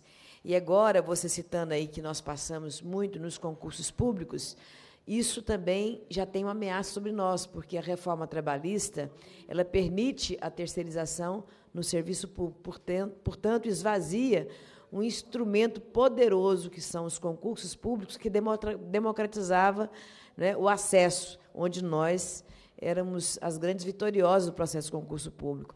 Então, é importante a gente se organizar, a gente construir espaços de organização e de mobilização de mulheres, para que a gente fale para as mulheres, mas também que a gente fale para os homens. Mas essa coesão nossa, esse dar as mãos, é fundamental para que a gente potencialize a nossa luta. Muito obrigada pela presença, viu? A próxima e última pessoa que se inscreveu é a Gilmara, da Executiva Estadual da Rede Mulheres Negras. Se alguém ainda quiser dar uma palavrinha, aí, aí eu vou ficar mais rápida, ser mais. Ainda eu assim, a gente abre uma exceção assim, de meio segundo para cada uma, tá? Mas eu quero só dar uma palavrinha. Eu quero é pedir licença, porque realmente eu tenho audiência daqui a pouco, já está no meu horário, né? apesar da hora, mas é, tenho que sair. Tá? tá bem. Muito obrigada, viu? Então vamos lá. Gilmara. Boa tarde. Boa tarde a todas. Eu parabenizo e agradeço cumprimento toda a mesa na pessoa da subsecretária de Políticas para as Mulheres, Larissa Morim. É uma alegria muito grande falar aqui em nome da Rede Mulheres Negras do Estado de Minas Gerais, que é uma, uma articulação que de mulheres do Estado todo, que, que é coordenado, assim, a, a, a executiva ela tem é, coordenação do coletivo Nizinga, que é um coletivo de mulheres negras daqui da cidade de Belo Horizonte, que tem ampla é, história e sim e de, de com, é, com o propósito de fortalecer a luta das mulheres negras para o fim do racismo, para o fim do sexismo e de todas as formas de opressão. Porque quando uma mulher negra avança, todo mundo caminha. Quando uma mulher, uma mulher negra avança, a, a sociedade negra se movimenta. Né? Como as nossas companheiras aqui é, que me antecederam disseram muito bem dito, é, a situação que a gente vive atualmente, nesse momento, principalmente de transição é, de governos, requer um, uma, uma capacidade de escuta e de diálogo muito grande, mas também de compromisso e responsabilidade histórica com a, as populações que historicamente são são criminalizadas, subjugadas e transformadas em objetos dentro dessa função capitalista, é, dentro desse Estado capitalista. Né? Então, é, pensar um plano né, como esse é também, tá, é também articular outras forças que já estão produzindo muitas novidades, né? novidades não assim, mas produzindo muitas é, muitos encaminhamentos para o fortalecimento da luta para a emancipação de toda a sociedade brasileira, não só na cidade de Belo Horizonte, mas no estado e no Brasil. A Rede de Mulheres Negras de Minas Gerais integra e participa do Encontro Nacional de Mulheres Negras, que está acontecendo agora no, em Goiânia. É, toda hora cair. É, em Goiânia, para poder fazer essa discussão. Em setembro, a Rede de Mulheres Negras fez um encontro estadual aqui com mulheres do, de, de, vários municípios de Minas e com representação de mulheres é, lésbicas, transexuais, mulheres quilombolas atingidas por barragem, vários contextos onde as mulheres negras são atravessadas pelos mesmos pelos mesmos, é, pelas mesmas ações de opressão. Nesse evento, em setembro, a gente produziu um, um pacto político contra o sexismo e contra ações racistas, que foi entregue às candidatas que estavam no pleito eleitoral naquele momento. E até a, a deputada também participou conosco, outras pessoas. Né? E tudo isso vai conjugando uma constelação que vai demonstrando isso, a força da, da união é, pela, pelo fim dessas atividades de opressão todas. É, uma coisa que é muito importante ressaltar que a proposta do plano está propondo isso, né, está colocando isso de uma maneira muito articulada, que é a integração das demandas com os ciclos orçamentários. Acessar esse tipo de, de lei, fazer, é, deixar mais é, democratizado esse tipo de informação para todas nós é muito importante para a gente sair desse lugar de, como a, como a Indira falou, de sempre demandar e sempre posicionar uma coisa que está errada. Né? Para a gente poder construir essa proposição, a gente precisa ter mais informações. E, ter, e quanto mais informações, quanto mais pessoas envolvidas nesse processo, ações como essa de estar em outros espaços de poder fortalece muito, assim, coloca meninas negras assim, é, daqui 20 anos, né, com outra perspectiva de vida, né? A nossa sociedade é, mineira vai né, estará com outras com outros futuros né, possíveis. E é isso, assim, a, a possibilidade de outros futuros é, é o principal. É isso que a gente tem que perseguir. Porque, até agora, os mesmos vêm acontecendo para as mesmas pessoas. E isso precisa ser alterado com urgência. Por isso, eu agradeço muito a oportunidade de estar aqui. A Rede Mulheres Negras de Minas Gerais vai continuar seus trabalhos. É, a gente está lá em atividades em Goiânia e Espero que a gente consiga se encontrar sempre e que a gente esteja de outra forma, no, principalmente nessa, nessa nova entrada, né? com outras ideias, enfim, é, que a gente consiga continuar com esse compromisso que já que está sendo pautado pela sociedade mineira há tanto tempo. Boa tarde para vocês. Muito obrigada, Gilmara. Nós vamos agora para as considerações finais. Ah, Larissa pediu para uma breve mensagem. Então, é, agradecendo mais uma vez a cada pessoa que colaborou nesse processo e a cada pessoa que daqui para frente é responsável pela continuidade dessas, dessa iniciativa, pela implementação das políticas, das ações que estão aí previstas. É, eu queria lembrar Luísa Bairros, ela sempre dizia para a gente, é uma liderança importante do movimento negro, do MNU, e ela sempre disse para a gente: estamos prontas e preparadas. E eu acho que é isso, é essa mensagem que eu deixo para as mulheres de Minas. Estamos prontas e preparadas. Nós sabemos as políticas que queremos, nós sabemos as políticas que precisamos. Aqui nesse plano a gente tem essa compilação que tem esse cuidado técnico e político, que faz esse diálogo com o PPAG, com as peças orçamentárias já existentes, com as políticas já existentes, é, e a gente pode transformar a realidade das mulheres a partir daqui. É, se é, esse plano não é um plano dessa ou daquela gestão, é um plano das mulheres mineiras. Foram elas que fizeram, foram elas que construíram.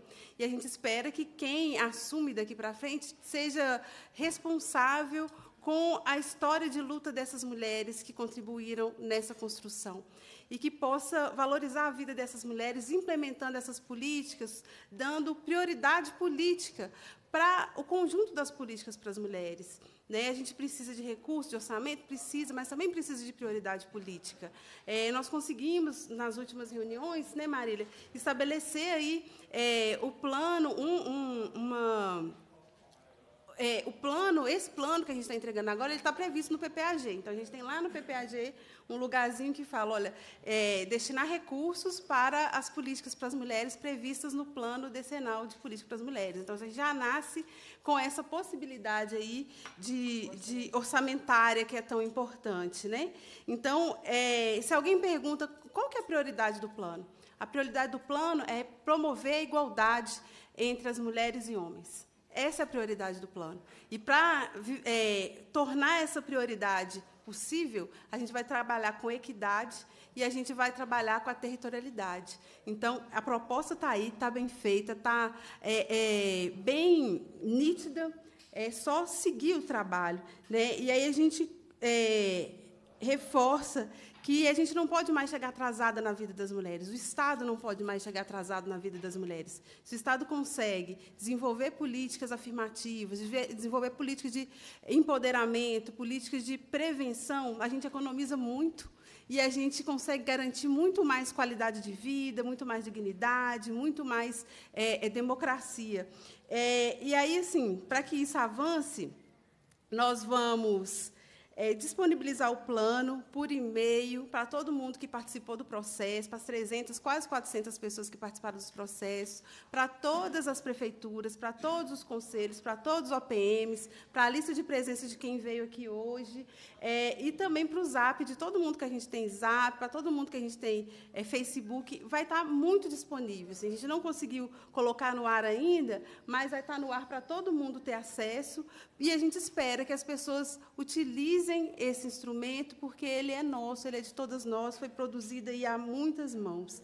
Então, fica aí meu agradecimento. E aí eu queria fazer uma saudação às mulheres negras brasileiras que hoje estão reunidas em Goiânia, no Encontro Nacional de Mulheres Negras Mais 30, que é um encontro importantíssimo, que reúne mulheres negras de todos os estados que passaram por um processo municipal estadual e agora estão nesse processo nacional. A gente se prepara para o Encontro Mundial de Mulheres Negras, que ocorrerá dentro de um ou dois anos. Então, esse processo para a gente é precioso. E essas mulheres que estão do Brasil inteiro, nesse momento, lutando por igualdade, também participaram desse processo nosso e de construção do plano. E aí queria convidar todo mundo para o lançamento do livro da Marielle, que a gente vai fazer agora no dia 8 de, 8 de dezembro, só pegar direitinho aqui. 8 de dezembro, sábado, às 17 horas, no espaço lá da Favelinha, é, na rua Doutor Ar Argemínio Rezende Costa, 191, é, lá na aglomerada da Serra. Então, está todo mundo convidado. O livro da Marielle é o PP, a redução das, fa das favelas a três letras. E tem tudo a ver com essa perspectiva do recorte racial é, e de gênero, impactando aí a vida das mulheres nos centros urbanos. Então, está todo mundo convidado. Mais uma vez, muito obrigada, Marília, muito obrigada, Geise. Parabéns pela aprovação dessa lei tão importante. As mulheres precisam, de fato, ser protegidas no momento da gestação, do parto, do puerpério. É, muito obrigada a todas. Obrigada, Larissa. Bel. Deixar só uma um recado, né? Breve. Um recadinho básico aqui no final. É um recadinho da gente que associa, a gente que viveu muito o processo e vive, né? Porque a gente não deixa de vivê-lo, do enfrentamento à violência contra as mulheres e da emancipação das mulheres e pelas mulheres ocupando espaço de poder, que a gente vem discutindo muito aqui nessa casa, das origens de toda essa desigualdade de gênero, tanto do poder é, opressor com relação às violências de gênero que permeiam as desigualdades, e aí a gente quer vencê-lo também, quanto vencer também as desigualdades de gênero, mas mulheres no poder, para a gente ocupar um espaço, né? A companheira fez uma provocação, para gente ocupar algum espaço de poder, nós temos que, na atual conjuntura, retirar um homem. Então, eu espero que a gente esteja nessa luta todas juntas para vencer essas duas desigualdades de gênero e essa desigualdade de poder é, que permeia historicamente, secularmente, a história né, de homens e mulheres, para que a gente consiga, ainda, Marília e Geisa, vencer a discussão que a gente sempre faz de ter uma mulher na mesa da Assembleia Legislativa de Minas Gerais, que é uma discussão que avança do ponto de vista nosso. Né? Fica aqui esse recadinho para que todas nós estejamos aonde estivermos, estejamos imbuídas desse espírito, né? não só nas políticas públicas, mas na política, por que não? Né? Que as mulheres façam política no bom sentido, não partidário, mas política é importante para que a gente esteja galgando os espaços e ocupe todos os espaços. Então, um beijo a todas e aí atentem na segunda-feira para abrir o computador e ver lá o plano está sendo divulgado. Obrigada. Obrigada, Bel. Ana Paula. É, é, a Fundação João Pinheiro, ano que vem, faz 50 anos. E eu queria fechar minha fala chamando a atenção que a nossa expectativa é que, é, ao longo do próximo ano, no seu quinquagésimo, né, acho que é isso ano, a Fundação possa continuar atuando enquanto uma instituição é, de apoio aos governos estaduais, ao governo estadual, aos órgãos estaduais e com proximidade à própria Assembleia, é, se reinventando sempre, né? E o plano ele é um, um, ele é um exemplo de um processo de modernização da fundação, um processo de aproximação da fundação em relação a pautas que se colocam para o Estado de uma forma nova e é, nós continuaremos enquanto diferente de muitos, eh, eu sou pesquisadora de carreira, é, eu acredito que não só eu, assim como os demais pesquisadores que participaram do processo, né, estamos lá. A instituição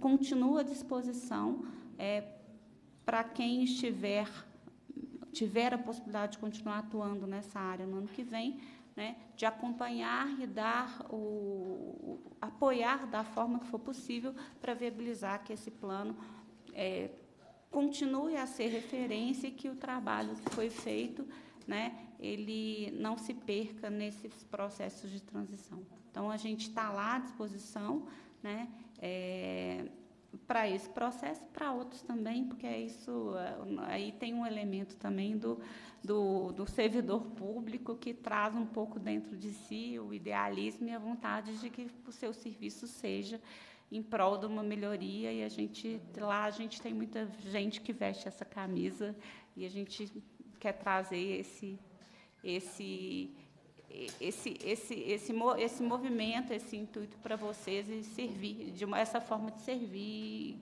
e prover, coisas que sejam de fato úteis para a sociedade e para o nosso próprio estado. Obrigada. Obrigada Ana Paula. Deputada Geisa para suas considerações finais. Quero, com muito carinho, agradecer a presença aqui da Bel Lisboa. Obrigada pela tua participação, né, da Subsecretaria de Mulheres. Um trabalho fantástico que foi feito durante a sua gestão. Quero cumprimentar também a Larissa, cumprimentar a professora Ana Paula, né, através da Fundação João Pinheiro. Dizer que, cumprimentar todas as mulheres aqui, né, finalizando a nossa fala, e agradecendo a presença de vocês, saber que o empoderamento das mulheres ele não acontece sem luta, sem sofrimento, sem garra, sem discussão, sem que a gente se coloque à frente dos poderes, digamos assim, para o enfrentamento, para que nós possamos ter sucesso nas nossas lutas. Então é com muita alegria que ontem, né, nós tivemos aí mais uma vez esse este aprovação do nosso projeto da violência contra obstétrica, né? E também hoje a apresentação desse plano decenal de políticas de mulheres do Estado de Minas Gerais e principalmente saber que ele está contido no PPAG. Então isso para nós é um avanço muito grande. E saber que o que antes era a nossa Comissão Extraordinária das Mulheres, nessa 18ª legislatura nós conseguimos que seja, que fosse então a comissão permanente né, dos direitos da mulher. E por isso nós estamos aqui reunidos e por isso nós vamos avançar cada vez mais. Então, eu quero parabenizar a todas as mulheres aqui presentes e dizer que a nossa luta é muito grande, mas principalmente que ela é permeada de vitórias quando nós nos damos a mão e nos damos as mãos, né? E seguimos em frente nas nossas lutas. Então, quero parabenizar cada, um, cada uma aqui presente e o fortalecimento da mulher é sempre assim mesmo, com muita luta, com muito trabalho, mas principalmente com uma capilaridade grande. Então, que esse plano decenal ele possa ter essa grande capilaridade, né, que seja disponibilizado nas prefeituras, nos conselhos municipais das mulheres, nas escolas, eu acho que tem que ter, que tem que haver um grande debate para que ele não fique engavetado e que ele realmente seja presente na vida das mulheres do Estado de Minas Gerais. Muito obrigada. Obrigada, deputada Geisa. Nós estamos finalizando a nossa audiência. Quero parabenizar finalmente a Larissa, nossa subsecretária, a Bel, também você, Ana Paula, por ter sido, em nome da Fundação, parceira nessa iniciativa, é, principalmente porque fizeram um plano onde contempla as mulheres no plural, né? Somos diversas, negras, é, territórios diversos, com orientação é, sexual também, que não é uma única orientação. Né? Então, é, essa, essa visibilidade que é dada às diversas mulheres que somos, nos respeita, e por isso muitas de nós nos sentiremos, se não todas, né, representadas nesse plano. Isso é importante nessa questão da legitimidade, da representatividade, para que a gente possa estabelecer esse diálogo, que é fundamental quando a gente discute a necessária mobilização, a necessária organização para que a gente possa sensibilizar os poderes. Porque quando a gente fala que a luta é lá fora e a luta é aqui dentro, a luta é lá fora. Então, 8 de março nós vamos fazer lá fora, nós vamos ter as datas de lutas como estamos aí para aprovar essa semana né, de respeito ao parto humanizado, contra a violência obstétrica. Também temos mais um dia estadual de luta, que é o dia é, estadual sugerido pela doutora Patrícia, e eu abracei essa ideia com muito orgulho, que é, infelizmente, né, mas nós temos que lutar, um dia de combate ao feminicídio, homenageando a uma trabalhadora do Ministério Público que foi assassinada em Contagem, é, amando o suspeito é o marido, e dois mandantes foram presos, mas o marido foi preso, mas já está é, em liberdade. Né? Mas a gente quis prestar essa homenagem e também vai ser um dia de luta no nosso Estado e, portanto, temos todos os motivos para estar na luta, para exigir políticas públicas que nos amparem, políticas públicas que façam a prevenção contra a, a, discriminação, contra as violências, que promovam a igualdade entre homens e mulheres.